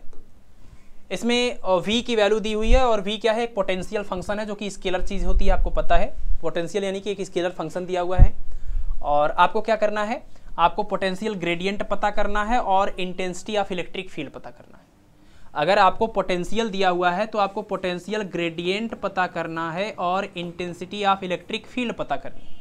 पोटेंशियल ग्रेडियंट का मतलब समझ रहे gradient of V potential gradient मतलब ग्रेडियंट ऑफ़ वी और ग्रेडियंट ऑफ़ वी निकालने का मतलब क्या? यही del by del x i cap plus del by del y j cap plus del by del z k cap sorry क्या लिख रहे हैं? डेल बाई डेल जेड, यहाँ पर के कैप ये हमारा ग्रेडियंट हो गया, डेल ऑपरेटर हो गया। उसके बाद ये क्या है? Two x plus three y plus z, two x plus three y plus z. इसको पहले वाले को ऑपरेट करिए, इसका इसका ज़ीरो हो जाएगा और टू एक्स का डिफ्रेंसिएशन करेंगे, टू आएगा तो बन गया क्या? Two i cap. ठीक, इसको लीजिए, इसके साथ करिए तो वाई वाला बचेगा, बाकी दोनों ज़ीरो हो जाएँगे, कितना बचेगा? थ्री और साथ में जे कैप। और इसको लीजिए, जेड के साथ करिए, बाकी सब ज़ीरो हो जाएगा सिर्फ़ बचेगा क्या? वन और के कैप। ये हुआ gradient of potential gradient of potential that means potential gradient तो पहला आंसर तो आपका यही हो गया। दूसरा आपसे पूछ रहे हैं कि इंटेंसिटी ऑफ़ इलेक्ट्रिक फ़ील्ड आपने देखा कि जो इलेक्ट्रिक फ़ील्ड होता है, उस इलेक्ट्रिक फ़ील्ड का जब हम कर्ल निकालते हैं तो वो आता है ज़ीरो इसका मतलब हम इलेक्ट्रिक फ़ील्ड को निगेटिव ग्रेडियंट ऑफ़ पोटेंशियल के फॉर्म में लिखते हैं. तो इसका मतलब इसका जो इंटेंसिटी ऑफ़ इलेक्ट्रिक फ़ील्ड हो जाएगा, वो हो जाएगा निगेटिव ग्रेडियंट ऑफ़ पोटेंशियल यानी निगेटिव पोटेंशियल ग्रेडियंट के बराबर. और निगेटिव पोटेंशियल ग्रेडियंट करेंगे तो सिर्फ़ माइनस इसमें लगाना है, बाकी चीज़ें एज इट इज़ हैं two i cap plus three j cap plus k cap ठीक है? ये इसका दूसरा आंसर हो गया. तो यही इस क्वेश्चन में आपसे पूछ रहे थे. ये एक्चुअल में आपको ये रिज़ल्ट याद होना चाहिए। तो बाकी चीज़ें आप कर ले जाएँगे। ठीक है? इसको हम पोटेंशियल ग्रेडियंट बोलते हैं। डिस्टेंस के साथ कोई भी चीज़ का वेरिएशन ग्रेडियंट बोला जाता है। टेम्परेचर ग्रेडियंट भी होता है वेलोसिटी ग्रेडियंट भी होता है। ट्वेंटी क्वेश्चन हो गए। अब बाकी के जो दो क्वेश्चन बच गए, वो आपके लिए होमवर्क है और इसके पीछे भी हमने कुछ चीज़ें छोड़ी थी, उनको आपको करना है। देखिए, ये जो क्वेश्चन हम आपको होमवर्क दे रहे हैं एक्चुअल में इसमें जितनी भी चीज़ें लिखी हुई हैं, इस क्वेश्चन में जितनी भी चीज़ें आपको निकालनी है, चूँकि ये लेक्चर बहुत ज़्यादा लेंदी हो जाएगा इसलिए हम इसको नहीं कर रहे हैं। ये जितने भी पार्ट इसमें दिए हुए हैं, इसको एज अ रिज़ल्ट आप ज़रूर याद रखिएगा। जैसे एक पीछे आपने देखा था एक चीज़, एक आया था कर लाफ वेक्टर आर कितना होता है? ज़ीरो होता है। कर लाफ वेक्टर आर ज़ीरो होता है है ना? तो ये रिज़ल्ट आपको याद करना है। वैसे ही ये कुछ और रिज़ल्ट है, ये फार्मूले हैं gradient of r power n के तो ग्रेडियंट ऑफ़ जैसे gradient of r power n ये क्या होता है? जो भी आएगा वो एक फार्मूला है। ठीक है ना? नोट्स में भी हमने लिखा होगा। ये जो भी रिज़ल्ट आएगा वो एक फार्मूला है। उसी तरह से gradient of one upon r को भी आप इसी फार्मूले के तहत यूज़ करके आप सॉल्व कर सकते हैं। ये भी इसको भी याद रखिए। Vector r upon r cube का कर लेंगे, वो भी जो रिज़ल्ट आएगा, वो भी अपने आप में एक रिज़ल्ट है, जिसको आपको याद रखना है है ना? याद रखना उस रिज़ल्ट को। और del square of one upon r का जो रिज़ल्ट आएगा, उसको भी आपको याद रखना है। तो ये चार क्वेश्चन जो हम कर रहे हैं एक्चुअल में इन चारों क्वेश्चन को एज अ फार्मूला आपको याद भी रखना है है ना? उसमें एक ये भी है। इसके अलावा एक रिलेशन और बता देते हैं। ओमेगा इक्वल टू आपको पता है v equal to r omega लिखते हैं, लेकिन ये होता है sorry v equal to v equal to होता है ओमेगा क्रॉस आर और इसमें ओमेगा को हम लिखते हैं one by two of curl v ये एक रिज़ल्ट होता है, इसको भी आप याद रखिए।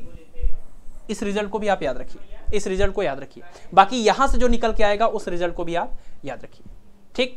एक चीज़ और आपको बता देते हैं, यहाँ देखिए gradient of r power n है। Gradient of r power n इसका जो रिज़ल्ट आएगा, वो एक फार्मूला है, काफ़ी इंपॉर्टेंट फार्मूला है।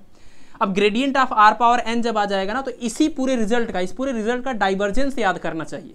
मतलब डेल डॉट और ये gradient of r power n ये पूरा। इसको भी याद रखना है। और ये भी एक फार्मूला है। और उसी का कर्ल भी याद रखिए कि डेल क्रॉस और gradient of r power n ये रिज़ल्ट भी आएगा, ये शायद ज़ीरो ही आता है। तो ये जो भी रिज़ल्ट आएँगे तीनों के, ये तीनों रिज़ल्ट आपको याद रखने हैं। पहले तो gradient of r power n फिर उस वैल्यू का डाइवर्जेंस फिर उसी वैल्यू का कर्ल ये भी फार्मूला आपको याद रखना है, ये फार्मूला हो गया, ये एक फार्मूला है, इसके ऊपर क्वेश्चन आ सकता है। आपको वेलोसिटी दे करके आपसे ओमेगा पूछा जा सकता है। तो वेलोसिटी का आपको कर्ल लेना है, उसके बाद उसका आधा करना है, आपको ओमेगा वेक्टर मिल जाएगा। ठीक? बाकी यहाँ से जितनी भी चीज़ें निकल के आएँगी, उन सबको आपको एज अ फार्मूला याद करना है। ठीक है? ये तो हो गया आपका क्वेश्चन नंबर ट्वेंटी वन इसके बाद आपका क्वेश्चन नंबर ट्वेंटी टू इसमें देखिए क्या है, एक वेक्टर ए दिया हुआ है वाई जेड है एक्स जेड है और एक्स वाई है साइक्लिक ऑर्डर में लिखा हुआ है। आपको कर्ल निकालना है इस वेक्टर का। ये जो वेक्टर दिया हुआ है, देखिए ये कांस्टेंट वेक्टर नहीं है, क्योंकि यहाँ एक्स वाई जेड में चल रहा है, यानी वेरिएबल है। कांस्टेंट वेक्टर में क्या होता था, जो इसके कंपोनेंट होते थे एक्स कंपोनेंट वाई कंपोनेंट और जेड कंपोनेंट वो क्या होते थे? कांस्टेंट होते थे, है ना? तो कांस्टेंट वेक्टर की बात नहीं चल रही, यहाँ पर एक वेरिएबल वेक्टर है और उस वेरिएबल वेक्टर का आपको कर्ल लेना है और वेक्टर जो है वो दिया भी है, कैसा वो वेक्टर है। तो इसमें से कौन सा ऑप्शन करेक्ट होगा? ये क्वेश्चन भी आपको सॉल्व करना है। ठीक है ना? तो आज के लिए आपका होमवर्क थोड़ा ज़्यादा है। चार से पाँच क्वेश्चन हमने आपको होमवर्क के तौर पर दिए हैं। बाकी एक क्वेश्चन का आंसर हम आपको बता देते हैं कि जो डेल ऑपरेटर है, जिसको हम डेल ऑपरेटर बोल रहे हैं, वो एक वेक्टर नहीं है। ये क्या है? एक वेक्टर नहीं है। भले ये देखने में हमें वेक्टर के जैसा लगता है, लेकिन ये एक्चुअल में वेक्टर नहीं है। जो जिस तरह से हम वेक्टर का रिजल्टेंट निकालते हैं ना, vector A plus vector B करके एक वेक्टर आर निकलता है, वो सारी चीज़ों को ये फॉलो नहीं करता है। तो ये एक वेक्टर डिफरेंशियल ऑपरेटर है, लेकिन ये एग्जैक्टली exactly वेक्टर नहीं है। इस बात को आपको ध्यान रखना है। बाकी प्रॉपर्टीज़ हमने जो तीन आपको बताई ना कि डेल ऑपरेट करिए डाइवर्जेंस करिए, कर, करिए तो बिहेवियर बिल्कुल वैसा ही दिख रहा है जैसे वेक्टर का होता है। तो सिमिलरिटीज तो हैं, उसमें, उससे मैच तो करता है, लेकिन ये एग्जैक्टली वेक्टर नहीं होता है। उन सारी बातों को ये फॉलो नहीं करता जो कोई वेक्टर फॉलो करता है। ठीक? तो ये एक डिफरेंशियल वेक्टर ऑपरेटर है। खुद में, अपने आप में कंप्लीट वेक्टर नहीं है। हाँ दूसरों को वेक्टर बना देता है ये। अगर हम इस डेल को किसी स्केलर के ऊपर ऑपरेट कर रहे हैं, यानी ग्रेडियंट जब निकालते हैं तो रिज़ल्ट क्या आता है? वेक्टर आता है। भले ही ये वेक्टर नहीं है, लेकिन किसी स्केलर को ये वेक्टर बनाने की क्षमता रखता है। और इस बात से मुझे टीचर की कहानी याद आती है कि जैसे टीचर अपने आप में चाहे वो आई हो आई हो या ना हो, लेकिन वो अपने स्टूडेंट्स को आईआईटीएन बना देता है और आईएस बना देता है पीसीएस बना देता है। तो ये बिल्कुल एक टीचर की जैसी इसकी इमेज है। कि खुद में वो चीज़ तो ये नहीं है, लेकिन ये दूसरों को वो चीज़ बनाने की क्षमता रखता है। ठीक है? चलिए तो आज के लिए बस इतना ही। लेक्चर काफ़ी लेंदी हो गया, बट ठीक है, काफ़ी चीज़ें इसमें थी। दो लेक्चर बनाने की बजाय एक ही लेक्चर में ये कंप्लीट हो गया। जैसे वेक्टर एनालिसिस की बात करें तो उसमें दो दो लेक्चर बनाने पड़े थे, इतना ज़्यादा उसमें क्वेश्चन थे। बट यहाँ पर हमने एक ही लेक्चर में कोशिश किया है कि सारी, सारे इसके जो कॉन्सेप्ट हैं और कंटेंट है वो समराइज हो जाए। ठीक है? तो आज के लिए इतना ही। बाकी आप लोग पढ़ाई करते रहें और अपना ख्याल रखें। धन्यवाद।